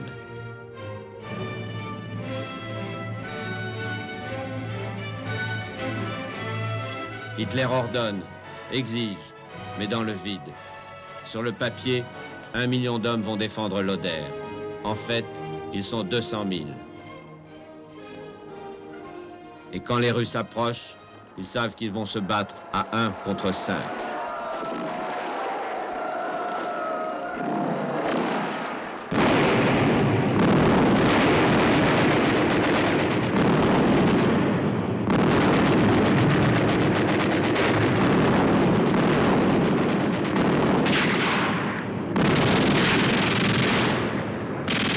Croit-il encore à Hitler? Croit-il encore à l'Allemagne? Ils ne se posent plus de questions. Ils obéissent aux ordres personnels du Führer. Sur des terrains de fortune à moitié inondés, les rares survivants de la Luftwaffe décollent pour une dernière mission à 1 contre 10.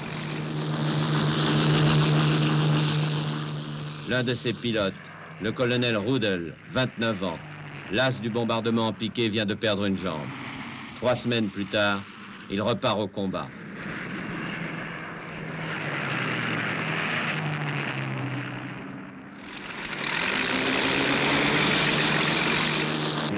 Grâce aux deux canons de 37 qu'il a installés sur son Stuka, il détruit son 2 millième char.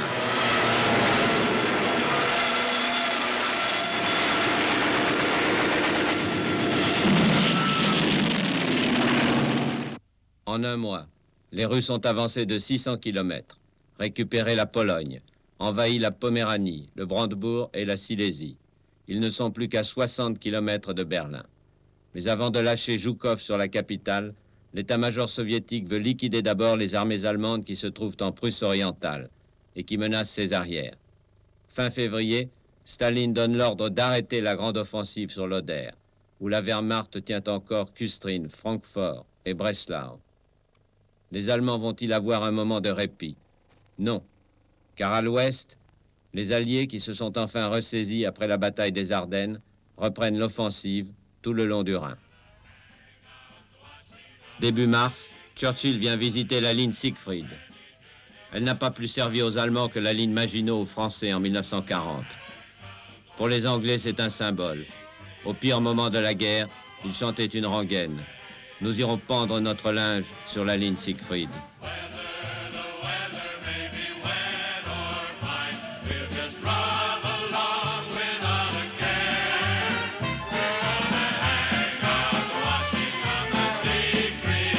Voilà qui est fait, Norman Churchill. Mais maintenant, il faut traverser le Rhin. Le Rhin, dernier rempart à l'ouest. De Nimègue à l'Alsace, Hitler a ordonné de faire sauter tous les ponts. Le 7 mars, à une heure de l'après-midi, le peloton de reconnaissance du lieutenant Emmett Burroughs de la 9e division blindée américaine découvre un pont intact, le pont de chemin de fer de Remagen. Il lance ses hommes de l'autre côté du Rhin et alerte l'état-major stupéfait. Bientôt, les blindés de la première armée américaine s'engouffrent derrière lui et traversent le Rhin à pied sec avec les compliments de la 9e DB. Hitler pique une nouvelle crise. Il fait fusiller les sapeurs du génie allemand dont les charges de plastique n'ont pas explosé. Il limoge le maréchal von Rundstedt. Il envoie des Stuka, des hommes grenouilles de Skorzeny et même 11 V2 pour essayer de détruire le pont. Rien n'y fait, cinq divisions américaines passent le Rhin. Au bout de dix jours, le pont de Remagen s'effondre, tout seul, sous le poids des blindés. Trop tard, les Américains possèdent déjà une solide tête de pont. Plus au nord, la 9e armée américaine attaque Cologne sur le Rhin.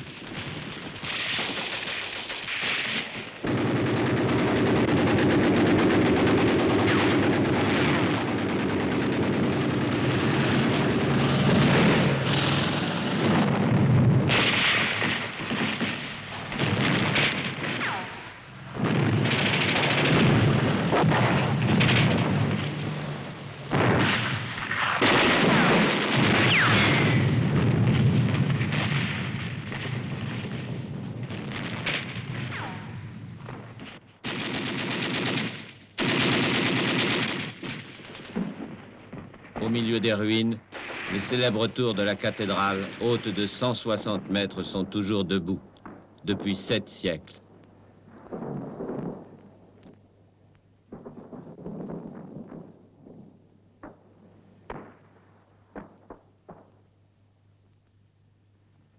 Le squelette de la gare aussi, mais une gare qui ne conduit plus nulle part.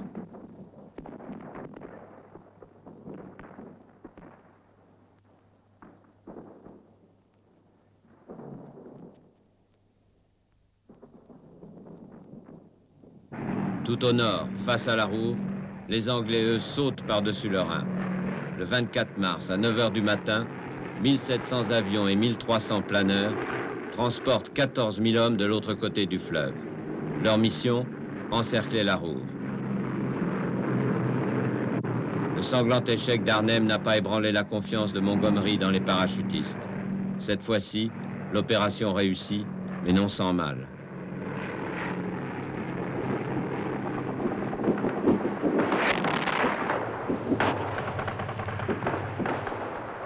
Britanniques et Canadiens tombent sur les parachutistes allemands de Meindl.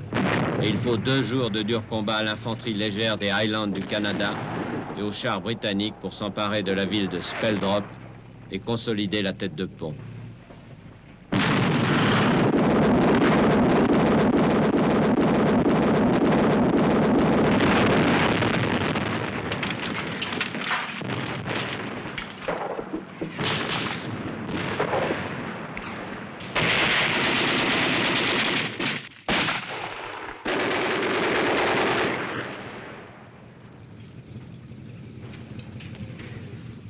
Au sud, dans le Palatinat, les Français traversent le Rhin à leur tour, à Gemmersheim, le 31 mars.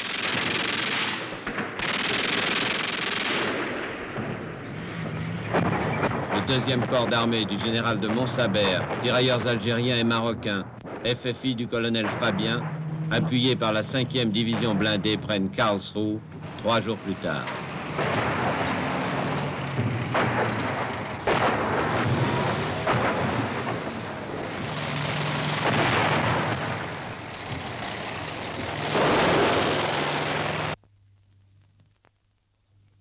L'autre côté, à l'est, pendant que l'offensive sur l'Oder est arrêtée, quatre groupes d'armées soviétiques encerclent la Prusse orientale, où se trouvent 500 000 soldats allemands. Zhukov opère un mouvement vers le nord, en direction de l'embouchure de l'Oder. Tandis que les groupes d'armées de Bagramian et de Tcherniakovski font le siège de Königsberg et de Danzig, Rokossovski lui aussi tourne vers le nord et fonce vers la Baltique.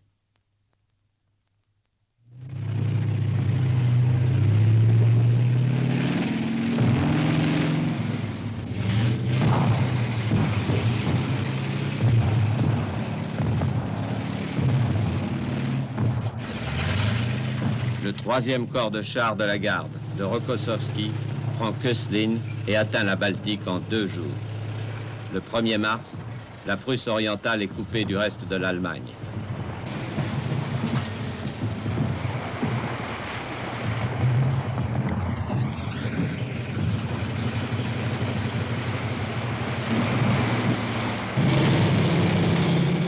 Pendant ce temps, Bagramian et Tcherniakovsky encerclent Königsberg.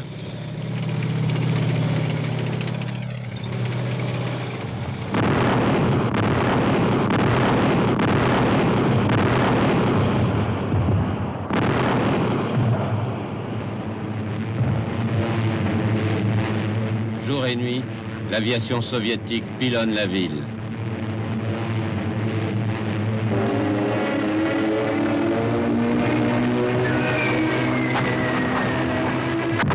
Parmi les chasseurs qui escortent les bombardiers soviétiques, une escadrille française, Normandie-Niemen. Devant Königsberg, elle est décorée de l'ordre du drapeau rouge. Toute la Russie connaît déjà le visage de ces Français qui ont choisi de venir se battre à ses côtés aux heures les plus noires de l'hiver 42. Pour tous les Russes, ils sont devenus des frères d'armes. Certains sont héros de l'Union soviétique. Ils étaient 100. 56 d'entre eux sont morts au combat. Mais à bord de leur yacht, ils ont remporté 273 victoires.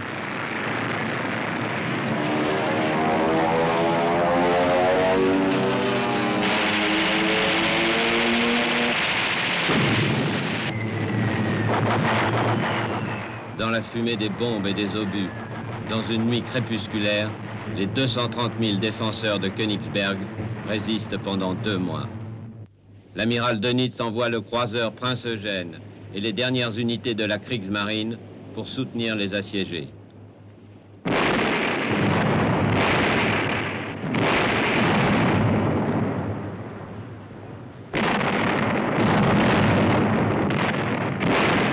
Tous les bâtiments disponibles, navires-écoles, dragueurs de mines, vieux paquebots désaffectés reçoivent pour mission sauver le plus de monde possible.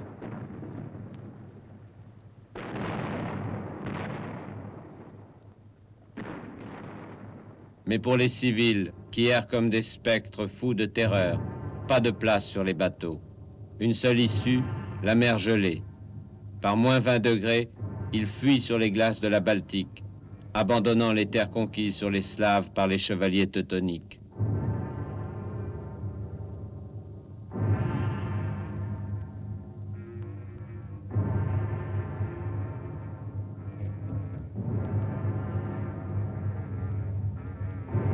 Ils fuient, éperdument, vers l'ouest, vers Berlin en ruine. Hermann Ernst von Borch appartenait à une des grandes familles de Prusse orientale. Il avait 10 ans. Nous sommes allés à pied, euh, peut-être 18 km. Et là, alors, devant nous, il y avait ce qu'on appelle un trek de réfugiés dans leur wagon. Des avions russes étaient venus, ils ont bombardé et mitraillé ce trek. Et je vu aussi, j'ai vu des wagons exploser, des trous de, de grenades et des bombes dans la rue. Et j'ai vu des cadavres déchirés, une partie là, dans, dans, un arbre, une partie là, dans un arbre. À votre avis, M. Von Borg, combien y a-t-il eu de réfugiés Une vingtaine de millions.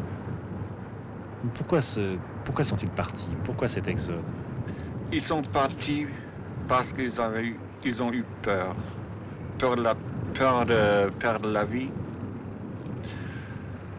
peur des cruautés de l'ennemi, peur aussi des conséquences de rester,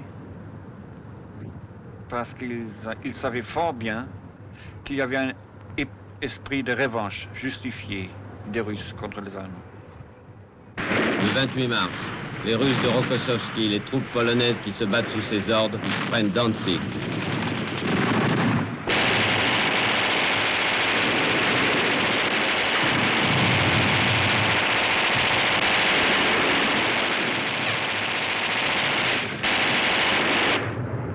Danzig.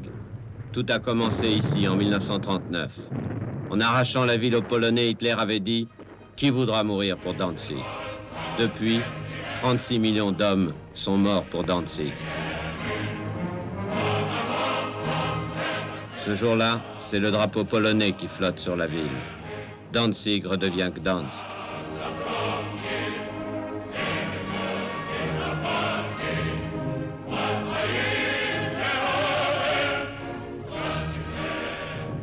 Devant Königsberg, qui tient toujours, le maréchal Vassilievski vient remplacer le général Tcherniakovski, tué au combat. Le 6 avril, il donne l'assaut final.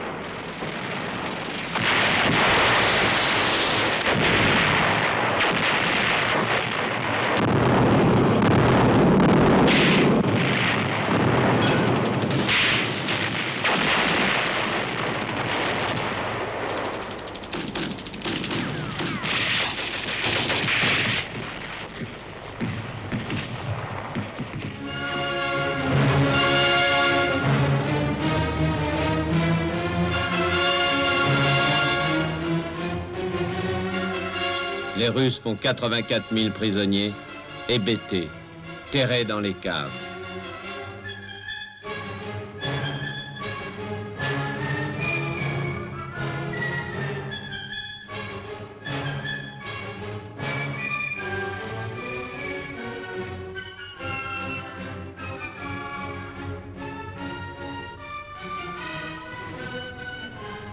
Le jour où le maréchal Vassilievski peut enfin contempler la statue du plus célèbre des Prussiens, Bismarck, Königsberg est devenu Kaliningrad.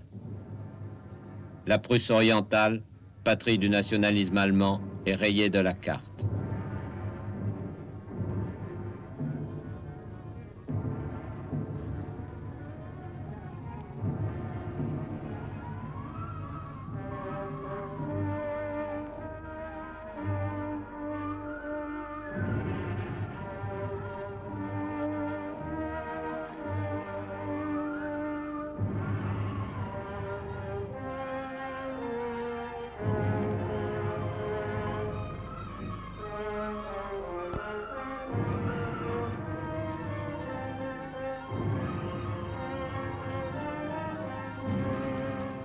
Ici, les soldats russes sont désormais chez eux, en territoire soviétique.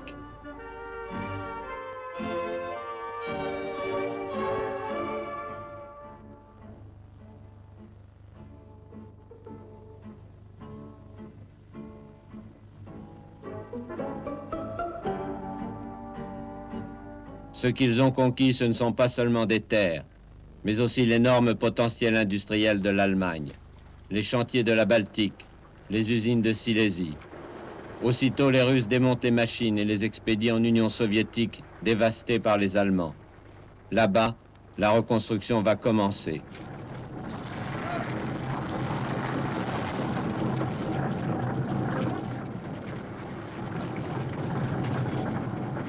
Que faire du butin? Que faire de l'Allemagne? Que faire de l'Europe? Il est déjà temps d'y songer. En février, les Alliés se donnent rendez-vous à Yalta, en Crimée, pour en discuter. C'est une Russie victorieuse et triomphante qui accueille Churchill et Roosevelt.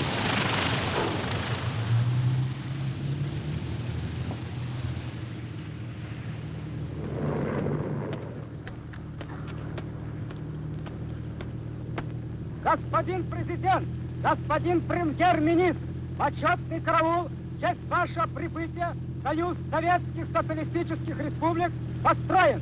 Начальник почетного караула, старший лейтенант Сазупеев.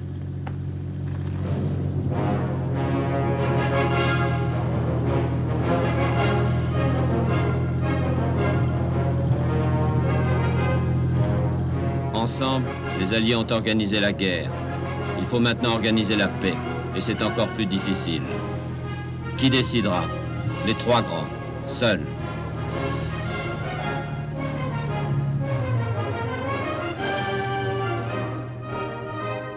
Churchill, le combattant, il se méfie de Staline depuis toujours. Son prestige personnel est immense, mais déjà l'Empire britannique commence à faire figure de parent pauvre. Il ne peut plus imposer, il doit convaincre. Staline, le bolchevique, il est à l'apogée de sa gloire. Toute sa vie, il a été obligé de ruser. Aujourd'hui, il est le plus fort. Il ne demande pas, il prend. Roosevelt, le pacifiste, il dirige le pays le plus puissant de la Terre, mais il ne croit pas à la force. Il rêve de république universelle. Pour l'Allemagne, c'est l'unanimité. Elle sera démilitarisée, dénazifiée et occupée pendant 50 ans. Grâce à Churchill, la France aura aussi une zone d'occupation. Les grands seront quatre à Berlin. Pour l'Europe, le marchandage est serré. La Roumanie, la Bulgarie, la Hongrie, d'accord. Elles seront dans la zone d'influence soviétique. Mais pour la Pologne et la Tchécoslovaquie, on discute ferme. Après des heures de négociations, on finit par trouver un compromis, pour le moment. Le 11 février 1945 à 15 heures, le monde est virtuellement partagé en deux. Roosevelt est satisfait. Il a confiance dans l'avenir. Mais en voyant son visage miné par la maladie, chacun devine qu'il n'a plus longtemps à vivre. Plus assez en tout cas pour assister à la victoire.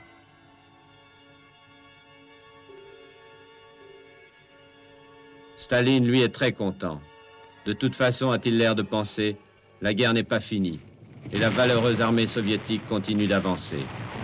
Le 16 avril, Zhukov et Konev reprennent l'offensive et traversent l'Oder.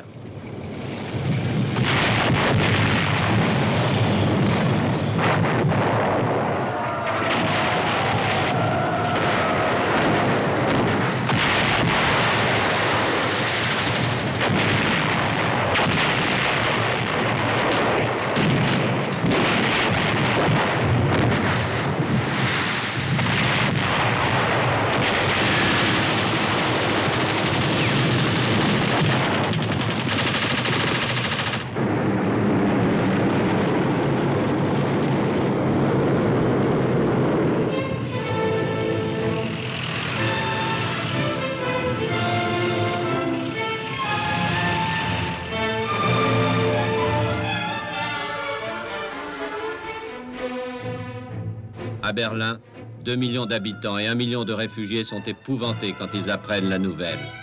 Les Russes ont passé l'Oder. Ils arrivent. Nous défendrons Berlin jusqu'au bout, hurle Goebbels à la radio. Combattez avec acharnement, fanatiquement.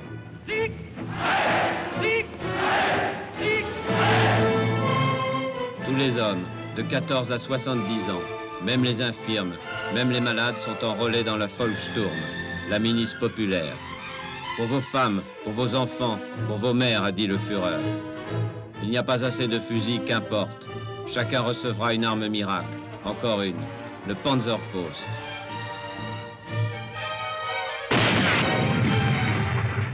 Avec ça, chaque Berlinois, homme, femme, enfant, doit détruire son tank russe.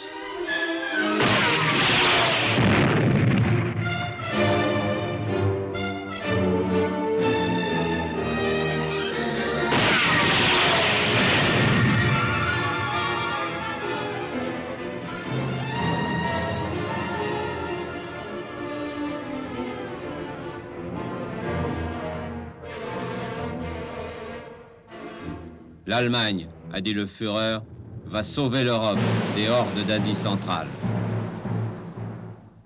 Est-ce qu'à partir de cette époque de la traversée de l'Oder, est-ce que vous avez eu l'impression que les Allemands continuaient à combattre férocement, comme toujours, enfin, ou est-ce que... Plus fort que jamais. Plus fort que jamais. Tout d'abord, ils ont, ils ont formé des, des bataillons de Werwolf. C'était des, disons, des partisans qui nous tiraient dans le dos. C'était leur dernière réserve, probablement. Mais si vous me demandez mon point de vue, pourquoi ça se faisait comme ça, il me semble qu'ils faisaient tout leur possible, le commandement allemand faisait tout leur possible que l'Allemagne soit envahie par les forces occidentales et non pas par les forces soviétiques. C'est pour ça qu'ils se défendaient acharnement, avec, enfin, avec acharnement, si on peut dire comme ça. Contre vous Contre nous. En laissant très facilement entrer les Anglais et les Américains. À l'ouest, cinq armées US envahissent l'Allemagne.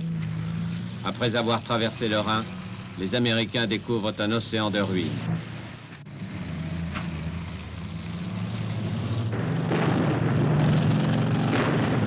Il n'y a plus de front, mais certaines unités de la Wehrmacht résistent avec l'énergie du désespoir. Il faut toute une division et six jours pour prendre à Schaffenburg, près de Mannheim.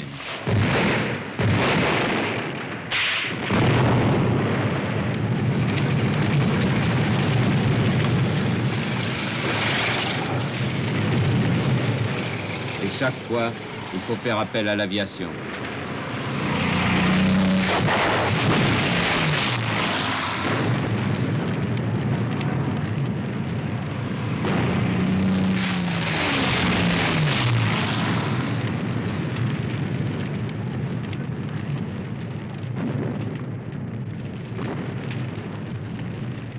Ces soldats allemands, il n'y a plus d'espoir. Plus aucun espoir, ni à l'est, ni à l'ouest.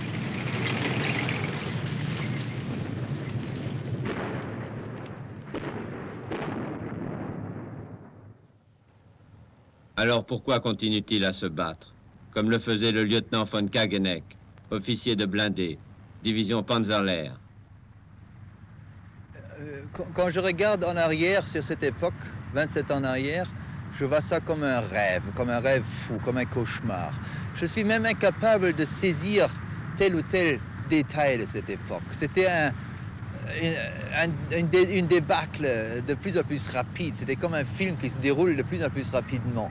Je me souviens du bombardement de Düsseldorf. Je me souviens de la décoration que j'ai fait à deux de mes lieutenants euh, qui avaient été décorés d'une très haute décoration pour leur bravure qu'ils avaient fait avant euh, dans les combats des Ardennes où je même assiste, pas assisté. Euh, c'était un moment où je faisais encore un discours, où j'exaltais encore les bonnes vieilles traditions, l'honneur, la fierté, l'orgueil de, l'officier allemand, où je disais encore des, mots aussi stupides qu'il faut euh, combattre pour la patrie jusqu'à la dernière goutte de sang, jusqu'au dernier, euh, la dernière cartouche. Et les gens le croyaient. la discipline était encore formidable, n'est-ce pas? Je vois encore mes trois compagnies devant moi qui, euh, qui, euh, euh, qui, qui était présenté à moi. Après, c'était de nouveau des voitures, en reculé, le jour, la nuit, en traversé des villes complètement détruites, des villages debout où les gens avaient déjà hissé les, les, drapeaux blancs parce que les Américains étaient à nos trousses. Nous étions mal rasés, sales, crasseux. Les gens nous faisaient parfois le point parce qu'ils ne voulaient plus voir les soldats allemands. Et nous, nous avons quand même fait cinq ans de guerre, Pologne, la France, l'Afrique, la Russie, au Cap Nord, en Égypte, sur les mers, dans les sous-marins. Nous avons dû voir là, pendant les derniers jours de cette guerre, les Allemands, de nos propres compatriotes, nous faire le point parce qu'ils ne voulaient plus voir de nous, ils ne voulaient plus de nous. Pour eux, la guerre était terminée et chaque soldat allemand qui passait encore était un danger de mort parce que pourrait attirer éventuellement des bombardiers américains.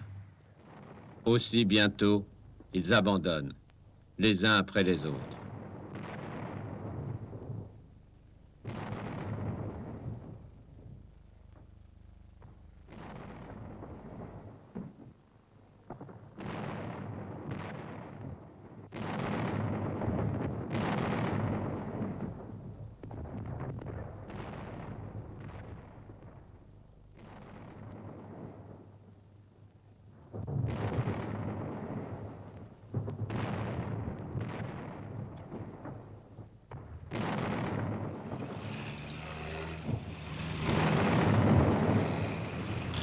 Ils se rendent par divisions entières.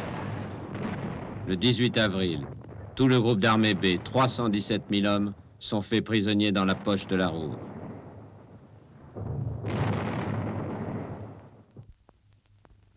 Après l'encerclement de la Roure, les Anglais marchent vers le nord, sur Hambourg. Les Américains avancent au centre, à la rencontre des Russes. Sur l'Elbe, ils feront leur jonction à Torgau. Et au sud, en direction de Francfort-sur-le-Main, Nuremberg et Munich.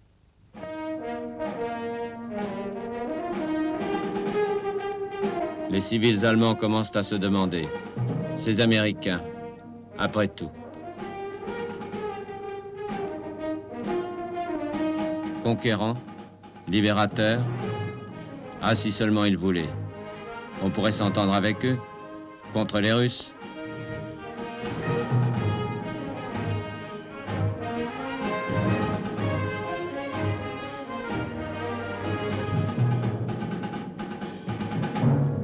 Beaucoup y pensent, civils et militaires. Le général Galland, qui commande la chasse allemande, propose même ses avions à réaction Messerschmitt 262 aux Américains.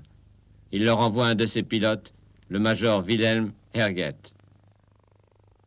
Général Galland m'a demandé, Major Herget, voulez-vous essayer à parler avec Général Eisenhower? Vous parlez un peu la langue anglaise Je disais oui, mon général. Je veux essayer. Il voulait proposer que tous les euh, avions Messerschmitt 262 pouvaient voler avec la permission de l'Amérique contre la Russie. J'ai pris le 2 mai un Storch pour aller à Schleißheim. J'ai parlé là avec un général, Person Minhor, euh, de la 45e division de l'infanterie et il a parlé avec le général Eisenhower. Quelles étaient les réponses des Américains? Général Eisenhower disait non. Et après ça, c'était la fin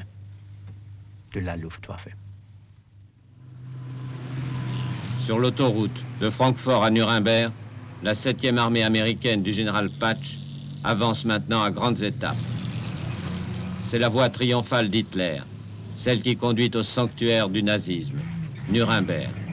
Nuremberg en ruine.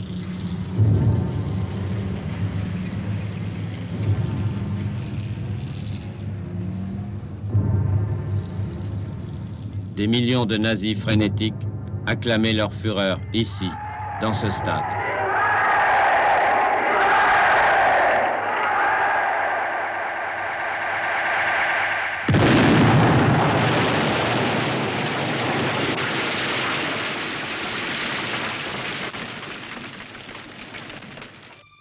La troisième armée, elle, libère Buchenwald. Patton, horrifié, a demandé à Eisenhower de venir voir de ses yeux.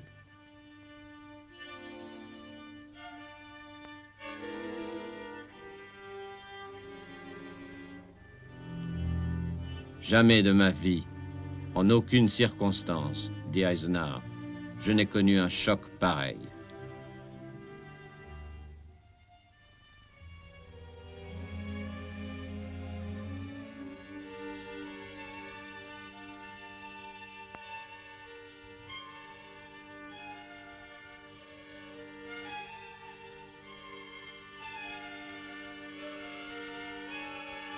Ces champs désolés, des fosses communes.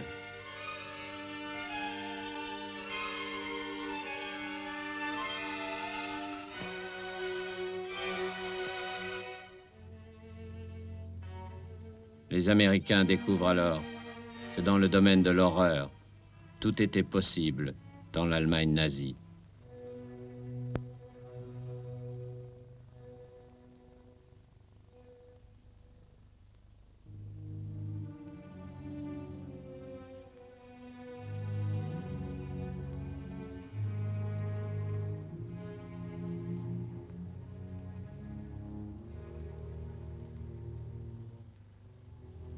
Nous n'étions pas au courant, gémissent les Allemands. Eh bien, vous allez voir. Allez, plus vite que ça, crie le MP en colère. Regardez, regardez le four crématoire, regardez l'état d'ossement.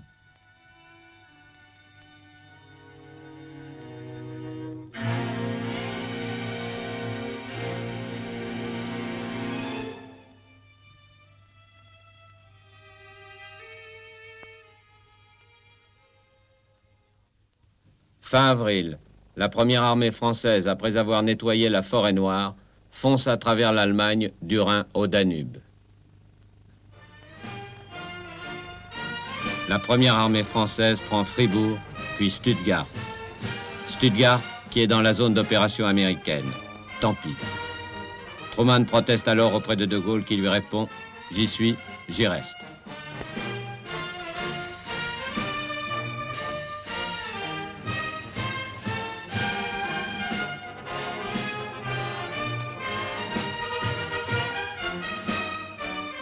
28 000 prisonniers allemands vont remplacer dans les stalags les prisonniers français délivrés. Depuis cinq ans, ils attendaient ce jour mais ils ne se doutaient pas qu'ils seraient libérés par des soldats français.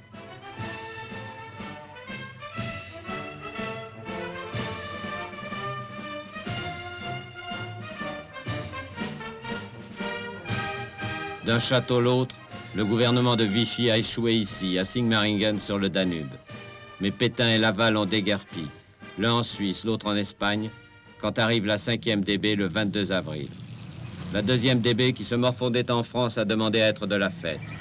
Le 29 avril, Leclerc entre en Allemagne avec une idée derrière la tête, prendre le repère d'Hitler, Berchtesgaden. Chacun veut y arriver le premier, comme le voulait l'aspirant Jean Raison.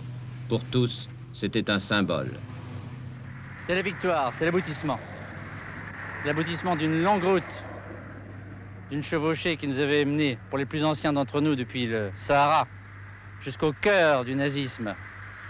Nous l'espérions sans trop y croire. Et tout le monde avait vraiment fait le maximum pour y arriver. On avait même craint à un moment donné danger d'armistice.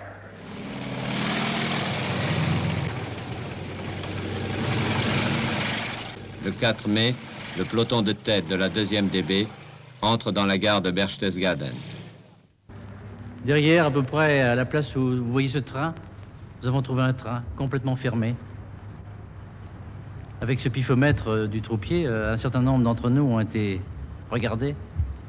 Et leur ahurissement, ils ont trouvé un train bourré de vivres, de vin, de tableaux, de trésors divers. C'était le train de Göring qui, dans l'extraordinaire pagaille de l'Allemagne de 45, avait navigué de Kerinal à Berchtesgaden. Avec tout ce que Göring a pillé à travers l'Europe, dans les églises, dans les musées, des Cranach, des Rembrandt, des Renoir, des Manet, et des lingots d'or, des tonnes d'or. Au-dessus de la ville, le capitaine Touiras entre le premier au Berghof, la villa d'Hitler, et prévient l'aspirant Raison. C'est ici, à cet endroit même, qu'était la villa de Hitler. Vous n'en voyez que les fondations, les ruines. Il ne reste pas grand-chose. Qu'est-ce qui restait dans cette ville-là et eh bien, dans cette villa, il restait, euh, comme les plâtres étaient tombés, évidemment, euh, et les meubles avaient été cassés, on connaissait un certain nombre de choses. Il y a des souterrains extraordinaires, plusieurs étages de souterrains. Souterrains qui étaient très bien équipés, plusieurs couloirs qui se commandaient les uns les autres pour éviter, évidemment, qu'ils soient forcés. Avec des postes euh, armés d'armes automatiques. Les servants n'étaient plus là, ils avaient déguerpi. Nous sommes rentrés.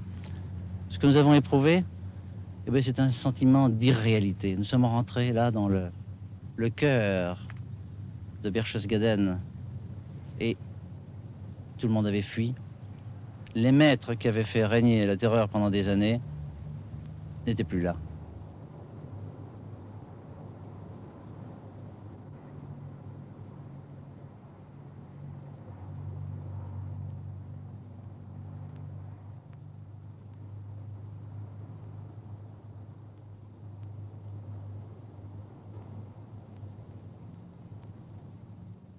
Est-ce que le général Leclerc est venu ici? Le général Leclerc est venu à cet endroit le lendemain.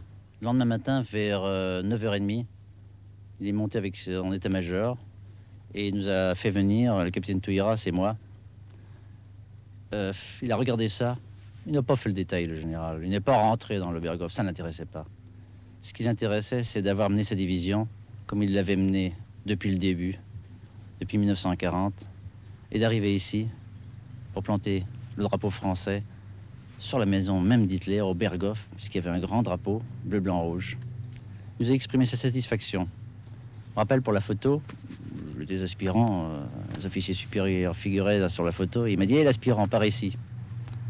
Et je crois que c'est important de penser que Leclerc était là. Parce que s'il y en avait un qui l'avait voulu, qui l'avait mérité également, bien sûr, c'était bien lui. C'est très bien, dit Leclerc à Touilleras et a raison. Mais c'est là-haut qu'il faut aller, au nid d'aigle. Le nid d'aigle, d'où Hitler avait l'impression de dominer le monde. Avec quelques hommes du bataillon de marche du Tchad, Touilleras et Raison mettent 5 heures pour escalader le rocher. Et à 18h30, ils y plantent le drapeau de la France libre.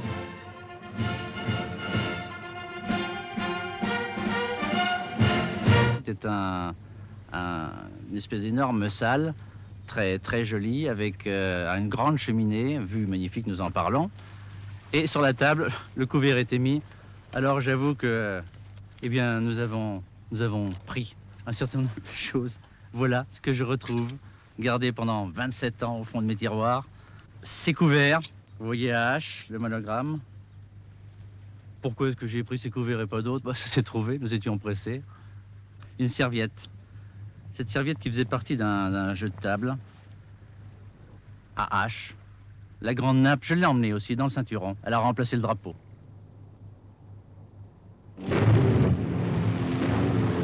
Dans toute l'Allemagne, c'est maintenant une course de vitesse. Le 25 avril, les chars de la première armée américaine atteignent l'Elbe à Torgau.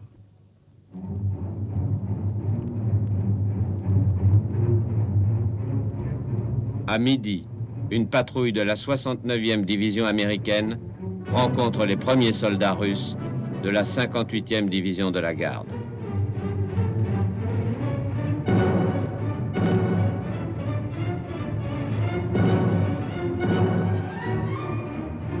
En 24 heures, Torgau, petite bourgade inconnue de Saxe, devient célèbre dans le monde entier. Correspondant de guerre, photographe, caméraman, accourt pour fixer l'événement historique. La poignée de main entre le général américain Emil Reinhardt et le général soviétique Vladimir Roussiakov. La poignée de main entre l'Est et l'Ouest.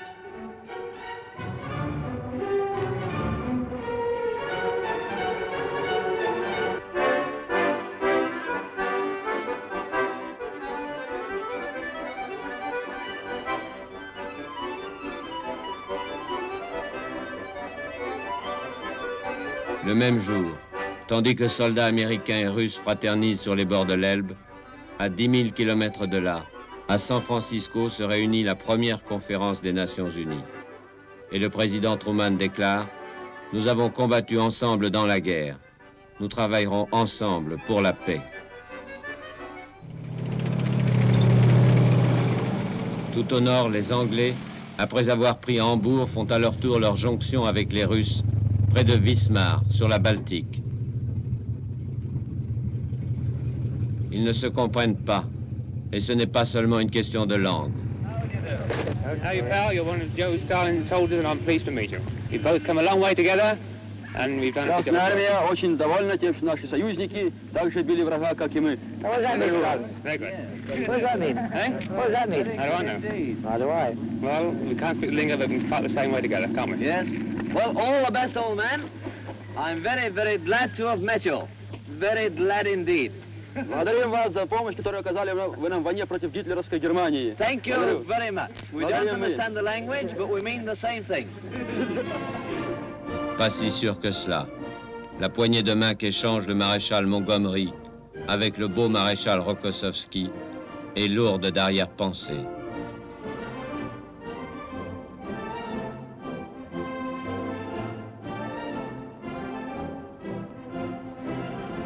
Derrière un sourire de circonstance, Montgomery cache mal son dépit.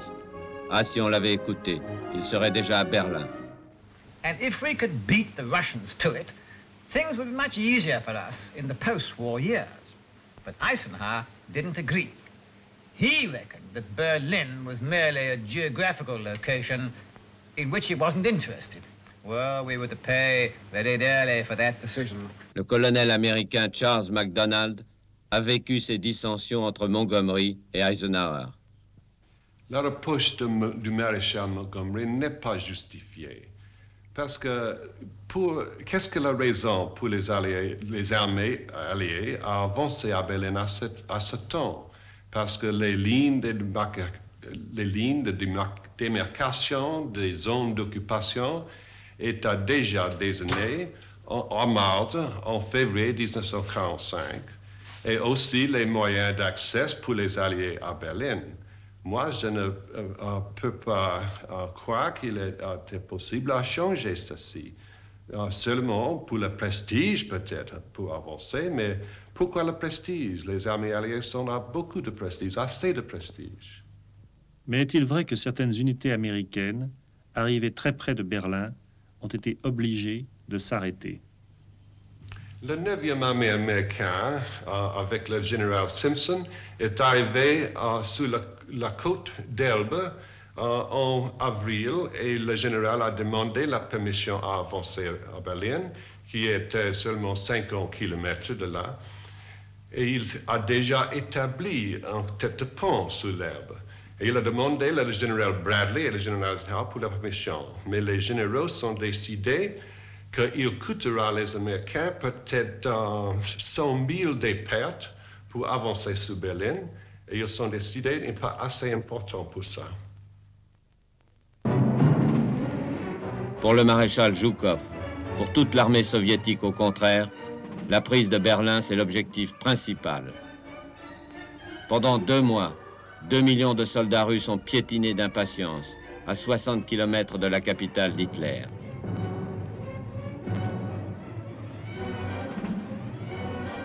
Sur les plans, sur les maquettes, l'état-major soviétique a étudié l'assaut final. Tous les généraux russes savent maintenant qu'il faudra prendre la ville, quartier par quartier, rue par rue. Parmi eux, le général Boltin. Le jour de la préparation de la bataille de Berlin est arrivé. Trois groupes d'armées soviétiques, celles de Rokossovski, Zhukov et Konev, étaient engagés dans l'opération de Berlin. Les troupes de maréchal Zhukov devaient effectuer la mission d'honneur, emporter la capitale de Reich. En général, certains historiens prétendent que les autres maréchaux étaient jaloux de ce choix et qu'ils revendiquaient tous cet honneur. En particulier le maréchal Koniev. Oui, sans doute. Vous savez que le 1er avril, les deux maréchaux, c'est Zhukov et Konev, étaient invités au quartier général où Staline a dessiné de sa propre main la frontière entre le premier front de la Russie blanche et le premier front d'Ukraine, qu'il était coupé près de la ville Luben, c'est-à-dire l'espace à l'ouest et au sud de Berlin restait vide. En somme, cela voulait dire que le meilleur gagne. Oui, en réalité, l'événement se déroulait comme ça, et l'assaut de Berlin était réalisé par deux fronts, ceux de Zhukov et de Konev. Konev pouvait maintenant jeter ses chars sur Berlin. Le 25 avril, la capitale était encerclée. Le maréchal Voronov a concentré autour de la ville 22 000 canons, un tous les 10 mètres.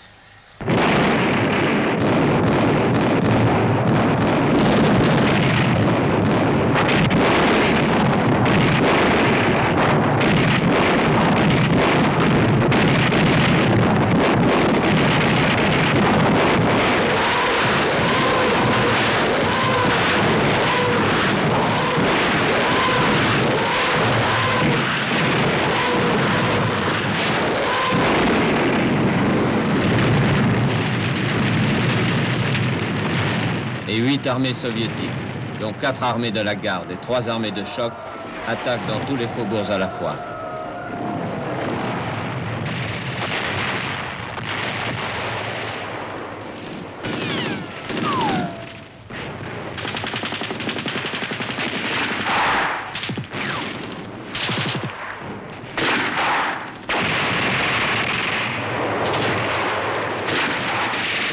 À À Spandau, à Pankov, les 200 000 soldats allemands de la garnison défendent chaque ruine, s'accrochent à chaque pan de mur.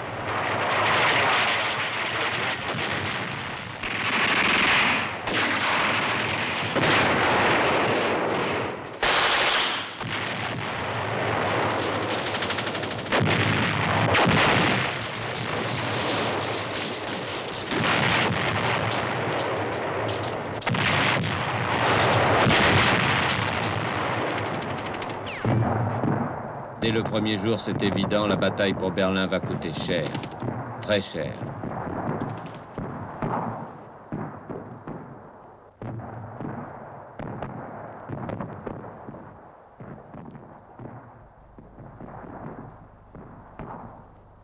Chaque pâté de maison transformé en fortin doit être écrasé par l'artillerie russe.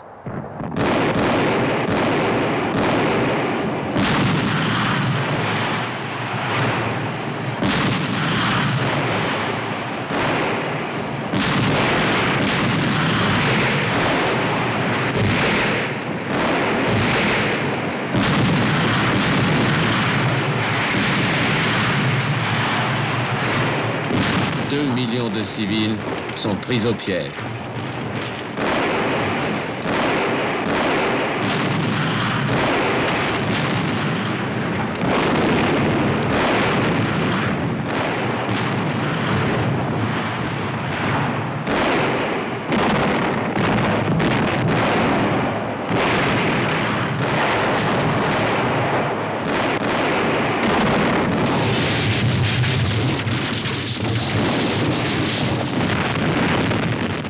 milieu de cet enfer, une femme, Madame Dunke. Nous étions dans, cette cave depuis trois jours. On en sortait à peine. Nous étions tassés les uns sur les autres. Et puis on sentait que c'était tout près, tout près, tout près. On avait fini par s'habituer au bruit des grenades, au bruit de tout ce qui tombait. Quand on a senti que les, grenades éclataient dans tous les jardins, on a pensé qu'il devait vraiment pas être bien. Puis faisait tellement beau. Puis je pensais que mon Dieu, je ne sais pas, je n'ai pas voulu finir dans la cave comme ça, mal lavé, au milieu de gens qui ne se lavaient plus depuis je ne sais combien de temps. Il n'y avait plus d'eau non plus, il aurait fallu en chercher. Aller chercher de l'eau, c'était une entreprise dangereuse. Alors j'ai pris mon bébé qui était réveillé, il était à peu près 7 heures du matin, puis je suis montée dans la cuisine. La cave avait un escalier qui donnait dans la cuisine. C'était à peu près comme ici. Puis j'ai attendu. Ah, je n'ai pas attendu longtemps. Il y, il y en a deux, deux soldats qui, sont arrivés avec naturellement leur fusil mitrailleur Et puis, je ne peux même pas dire que j'avais peur, j'étais plutôt, j'étais curieuse. Il y a un tas de souvenirs littéraires qui me revenaient à l'esprit, c'était sans doute parce que j'avais faim. Et puis les deux gars, ils devaient avoir entre 20 et 25 ans, certainement pas plus. Ils étaient tellement sales que c'était difficile à dire, au moins aussi sales que moi quand ils ont ouvert la porte. Mon Dieu, je ne sais pas s'ils étaient beaucoup plus rassurés. Alors, naturellement, je ne parlais pas le russe.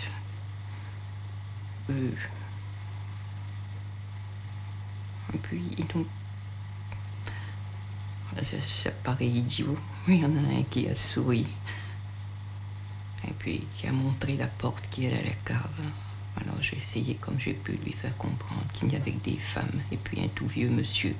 Je ne sais pas s'il a compris le vieux monsieur, mais il a compris qu'il y avait des femmes. Alors il est descendu. Et puis l'autre s'est mis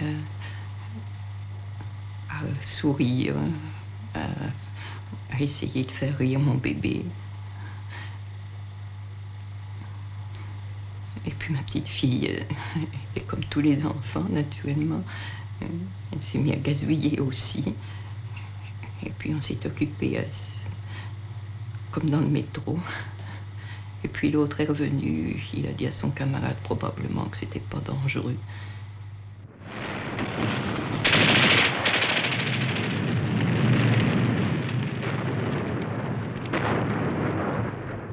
L'arrivée des premiers soldats russes c'est la terreur des Berlinois. Beaucoup ne peuvent en supporter l'idée et préfèrent se suicider, par familles entières.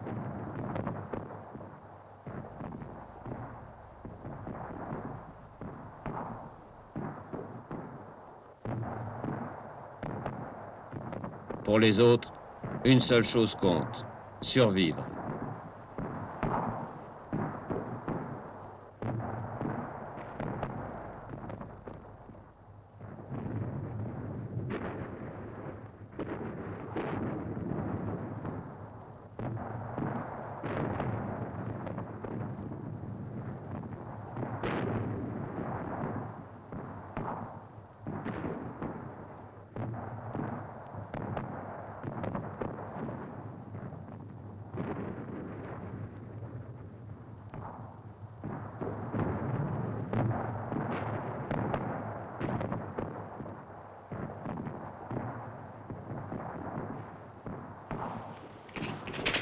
Et la guerre continue, deux rues plus loin.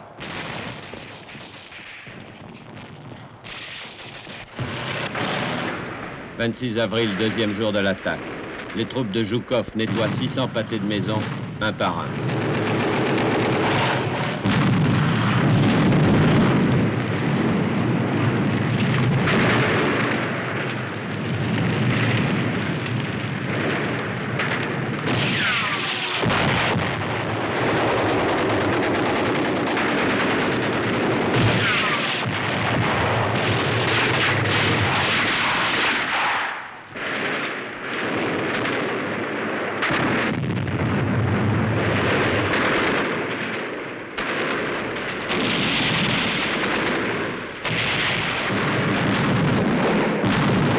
27 avril. La 8e armée de la garde, commandée par Tchouikov, le héros de Stalingrad, s'empare de l'aérodrome de Tempelhof, à 6 km de la chancellerie. Le 28 avril, voilà tout ce qui reste du Grand Reich qui, deux ans plus tôt, s'étendait du Cap Nord à l'Afrique et de l'Atlantique au Caucase. Un carré de ruines de 6 km de côté. Il n'y a plus de Wehrmacht, seulement quelques îlots de résistance, comme le bunker du Zoo, avec son hôpital souterrain, ses 29 000 civils entassés dans les abris, et une poignée de fidèles. Goebbels, quelques SS étrangers, quelques jeunesses hitlériennes.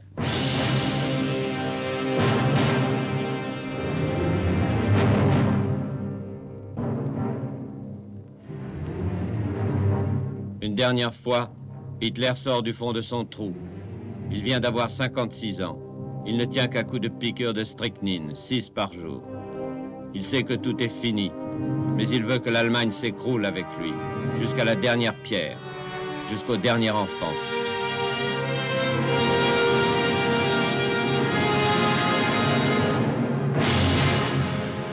Son seul ami vient lui dire adieu, Albert Speer. Euh, Hitler n'était euh, pre- n'était plus vivant, on peut dire. Il était, euh, un- un- un- il était presque mort. Euh, euh, on a, j'ai eu l'impression que ses réactions ne sont plus les, les réactions d'un homme qui vit. Euh, C'était les, ré- les réactions d'un homme qui est déjà à l'autre côté. Qu'est-ce qu'il vous a dit? Il m'a dit, la guerre est finie en quelques jours, je me suicidais et je suis très heureux que quand les choses sont finies parce que euh, je souffrais trop du développement des derniers mois et de- de- des trahisons de, mes collaborateurs les plus prochains. Et, euh, maintenant, euh, je, sera, je serai libéré de tous mes soucis. Qu'est-ce que vous avez pensé quand vous l'avez, vous l'avez quitté pour la dernière fois, quand vous êtes parti du bunker Et c'était, euh, euh, la même chose euh, quand, je quand je le quittais. Je pensais qu'il, m'envoie quelques désirs pour ma famille ou qu'il me dit qu'il me souhaite quelque chose de bon. Mais il était plus froid qu'avant. Je pense maintenant il était déçu parce que je, je ne, je je ne le disais pas à rester à Berlin avec, lui et euh, à, à me suicider avec lui. Ici, dans ce bunker, le 30 avril, Hitler épouse sa compagne Eva Braun.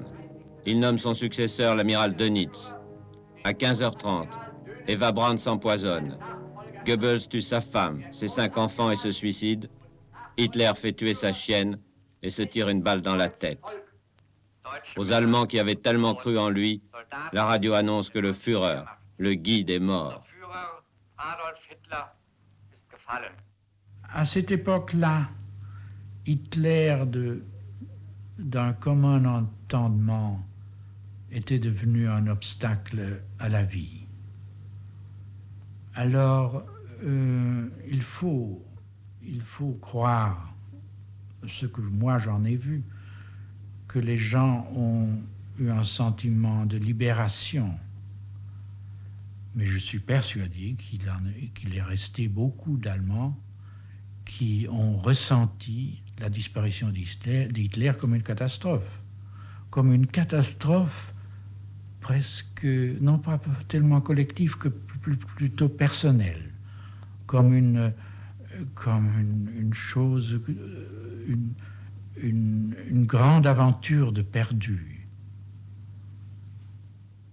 Il faudra encore deux jours après la mort d'Hitler pour prendre le dernier carré autour du Reichstag.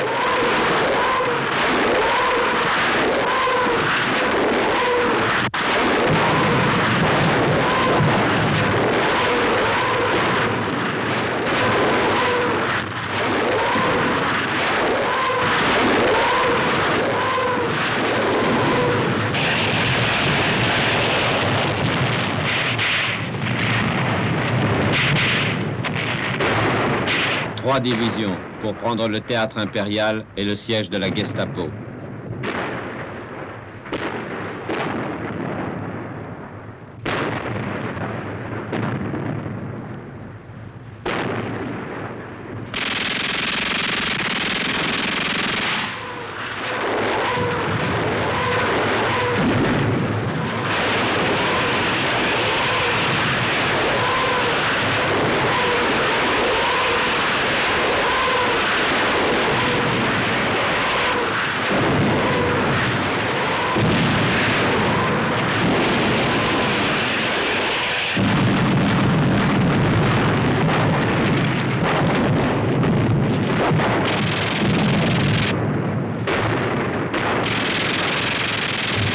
Régiment enfin, pour donner l'assaut au Reichstag où résistent les derniers défenseurs de Berlin.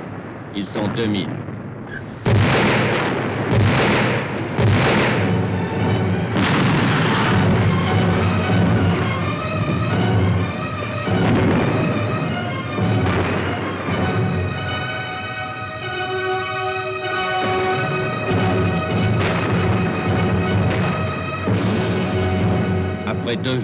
Deux nuits de combat au corps à corps. Deux soldats d'élite de la 3e armée de choc, les sergents Mikhail Yegorov et Meliton Kantaria, hissent le drapeau rouge sur le dôme du Reichstag. Il est 8h23 le 2 mai 1945.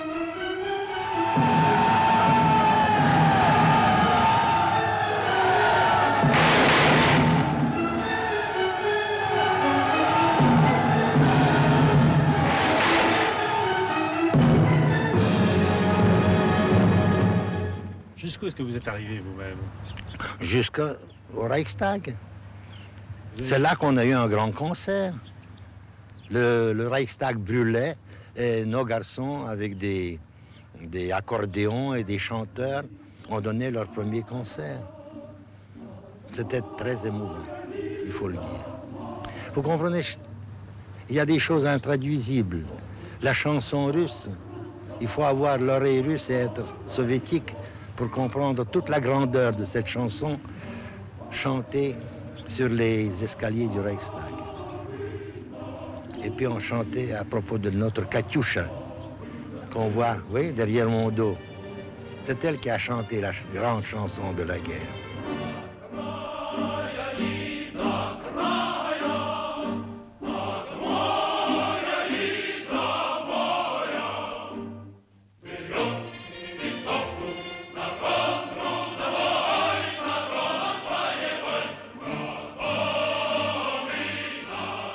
La première fois depuis le début de la guerre, le maréchal Zhukov a le sourire devant les caméras.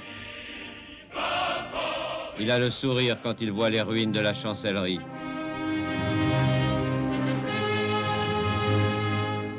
La grande galerie où Hitler, trônant au milieu des ambassadeurs, se croyait le maître de l'Europe. Le bureau, où il jouait avec la vie de millions d'hommes.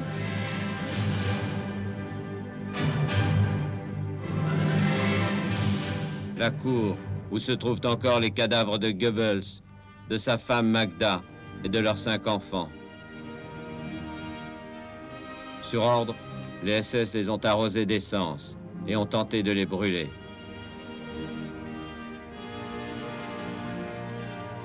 Et Hitler, est-ce lui? Non, son chauffeur et son cuisinier sont formels. Ce n'est pas lui. Plus tard, le lieutenant Klimienko trouvera les vrais cadavres méconnaissables d'Hitler et d'Eva Braun, les déterrera et les enverra dans deux caisses à l'état-major soviétique. Que sont-ils devenus? Mystère.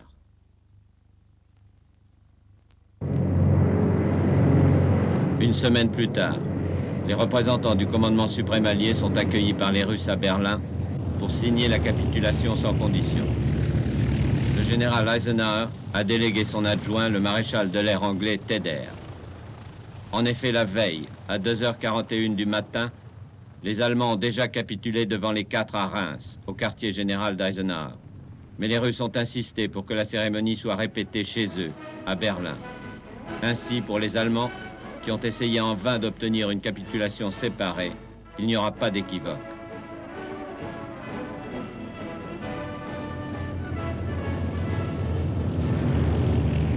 Quelques instants plus tard, un avion américain dépose sur le même terrain le représentant de Dönitz, le maréchal Keitel. À sa descente d'avion, en lisant le texte qu'on lui remet et qu'il devra signer tout à l'heure, l'ancien chef d'état-major d'Hitler perd ses dernières illusions.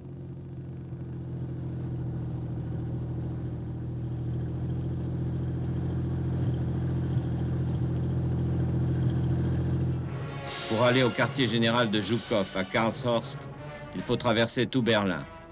50 kilomètres de ruines. Hitler avait dit un jour, dans dix ans, personne ne reconnaîtra Berlin. Il avait dit aussi, dans mille ans, on se souviendra encore de mon nom. Il avait raison. Dans mille ans, on se souviendra encore de cette guerre qui a coûté plus de 50 millions de morts. Une guerre qui va se terminer, ici, ce soir. Le général Delattre de Tassigny doit signer au nom de la France. Il est accompagné par deux officiers, le capitaine Bondou et le colonel Demetz, son chef d'état-major. Ce jour-là, ces trois hommes représentent la France qui s'est battue contre Hitler.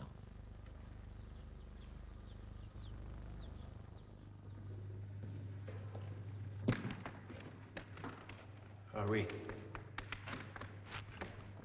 Oui, c'est bien ça, c'est la salle. C'est la salle historique. Lorsque nous arrivons à 2h30 avec le général Delattre, notre immédiate réaction, il n'y a pas de pavillon français. À la demande du général Delattre, on a rajouté un pavillon français qui a été, qui a été fabriqué de toutes pièces en quelques heures. Mais qu'est-ce que c'est que cette, cette salle au départ? C'était quoi? Ça, c'est la salle de casino du sous-officier. C'est une salle de bal, voyez-vous. Il y a, il y a là-haut la place d'un orchestre. L'orchestre qui jouera son rôle d'ailleurs euh, plus tard, au moment du dîner qui va suivre. Et moi, eh bien, moi, j'étais là, voilà, j'étais là, juste en face les Allemands. J'étais là et j'avais, j'avais mes, mes papiers, mes notes, tenez, voilà mes notes. Elles ont été écrites il y a, il y a 27 ans, bientôt. Les notes où j'ai marqué minute par minute ce qui se passe devant moi au moment où la séance commence. Nous entrons dans la salle, il est minuit passé. Voilà le détail de l'entrée des commandants en chef. Précédés par le maréchal Yukov, ils vont prendre leur place sur la table du fond. Avant de s'asseoir, ils se concertent quelques secondes. Et voilà les quatre généraux alliés qui vont signer. Le maréchal de l'air Tedder, britannique. Le maréchal Yukov, soviétique. Le général Karl Spatz, américain. et le général de Lattre que nous voyons dans le fond et que nous reconnaissons bien malgré la fatigue qui semble marquer son visage. Nous sommes déjà le 9 mai. Beaucoup de gens ne le savent pas. Le 8 mai est déjà dépassé de deux minutes. Dans le brouhaha des, gens qui s'installent, car il y a derrière nous une table où il n'y a que des généraux russes. Et puis derrière eux, tous les caméramans, tous les reporters photographiques, qui sont nombreux, très nombreux, et qui, avec les sunlights, les projecteurs, inondent la pièce de lumière, en particulier à l'endroit où les Allemands vont entrer. Si bien que quand euh, paraît dans l'encadrement de la porte, il est littéralement aveuglé par ces, ces lumières qui le frappent de face. Il arrive en saluant de son bâton de maréchal. Il pense que nous allons nous aussi répondre à son geste, mais les instructions sont formelles. On ne répond pas à son salut. À partir de ce moment-là, il restera guindé, chromé, et lorsque tout à l'heure Yukov lui adressera la parole, debout, Keitel ne bougera pas et restera assis. Et là, le dialogue est extrêmement sec. Yukov demande à Keitel Avez-vous reçu l'acte de capitulation? Il répond Ya. Vous avez les pouvoirs pour signer Ya. Vous avez des objections à faire?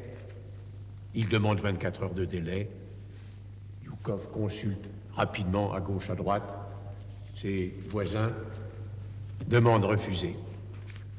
Alors venez signer. Et Keitel, à minuit 14, ajuste son monocle et se présente à la table de la signature où on lui présente les actes de capitulation à signer. Ses officiers d'état-major lui indiquent du doigt l'endroit où il doit apposer sa signature. Voilà le moment de la signature par Keitel. Regardez son visage, il est marqué par le malheur, ce malheur au vaincu qui résulte de cette haine inexpiable, la haine entre les soviétiques et les Allemands et nous-mêmes, après toutes nos épreuves. Nous n'avons pas de pitié. Il faut bien le dire, à ce moment-là, nous n'avons pas de pitié pour les nazis. Vers minuit 20, cinq minutes après, il a signé les neuf exemplaires de l'acte de capitulation. Les documents circulent des commandants en chef à l'autre. Les deux principaux qui signent comme commandants du front oriental et du front occidental, Yukov et Teder, puis les deux témoins, le général Delattre pour la France et le général Spatz pour l'Amérique. La guerre en Europe est finie.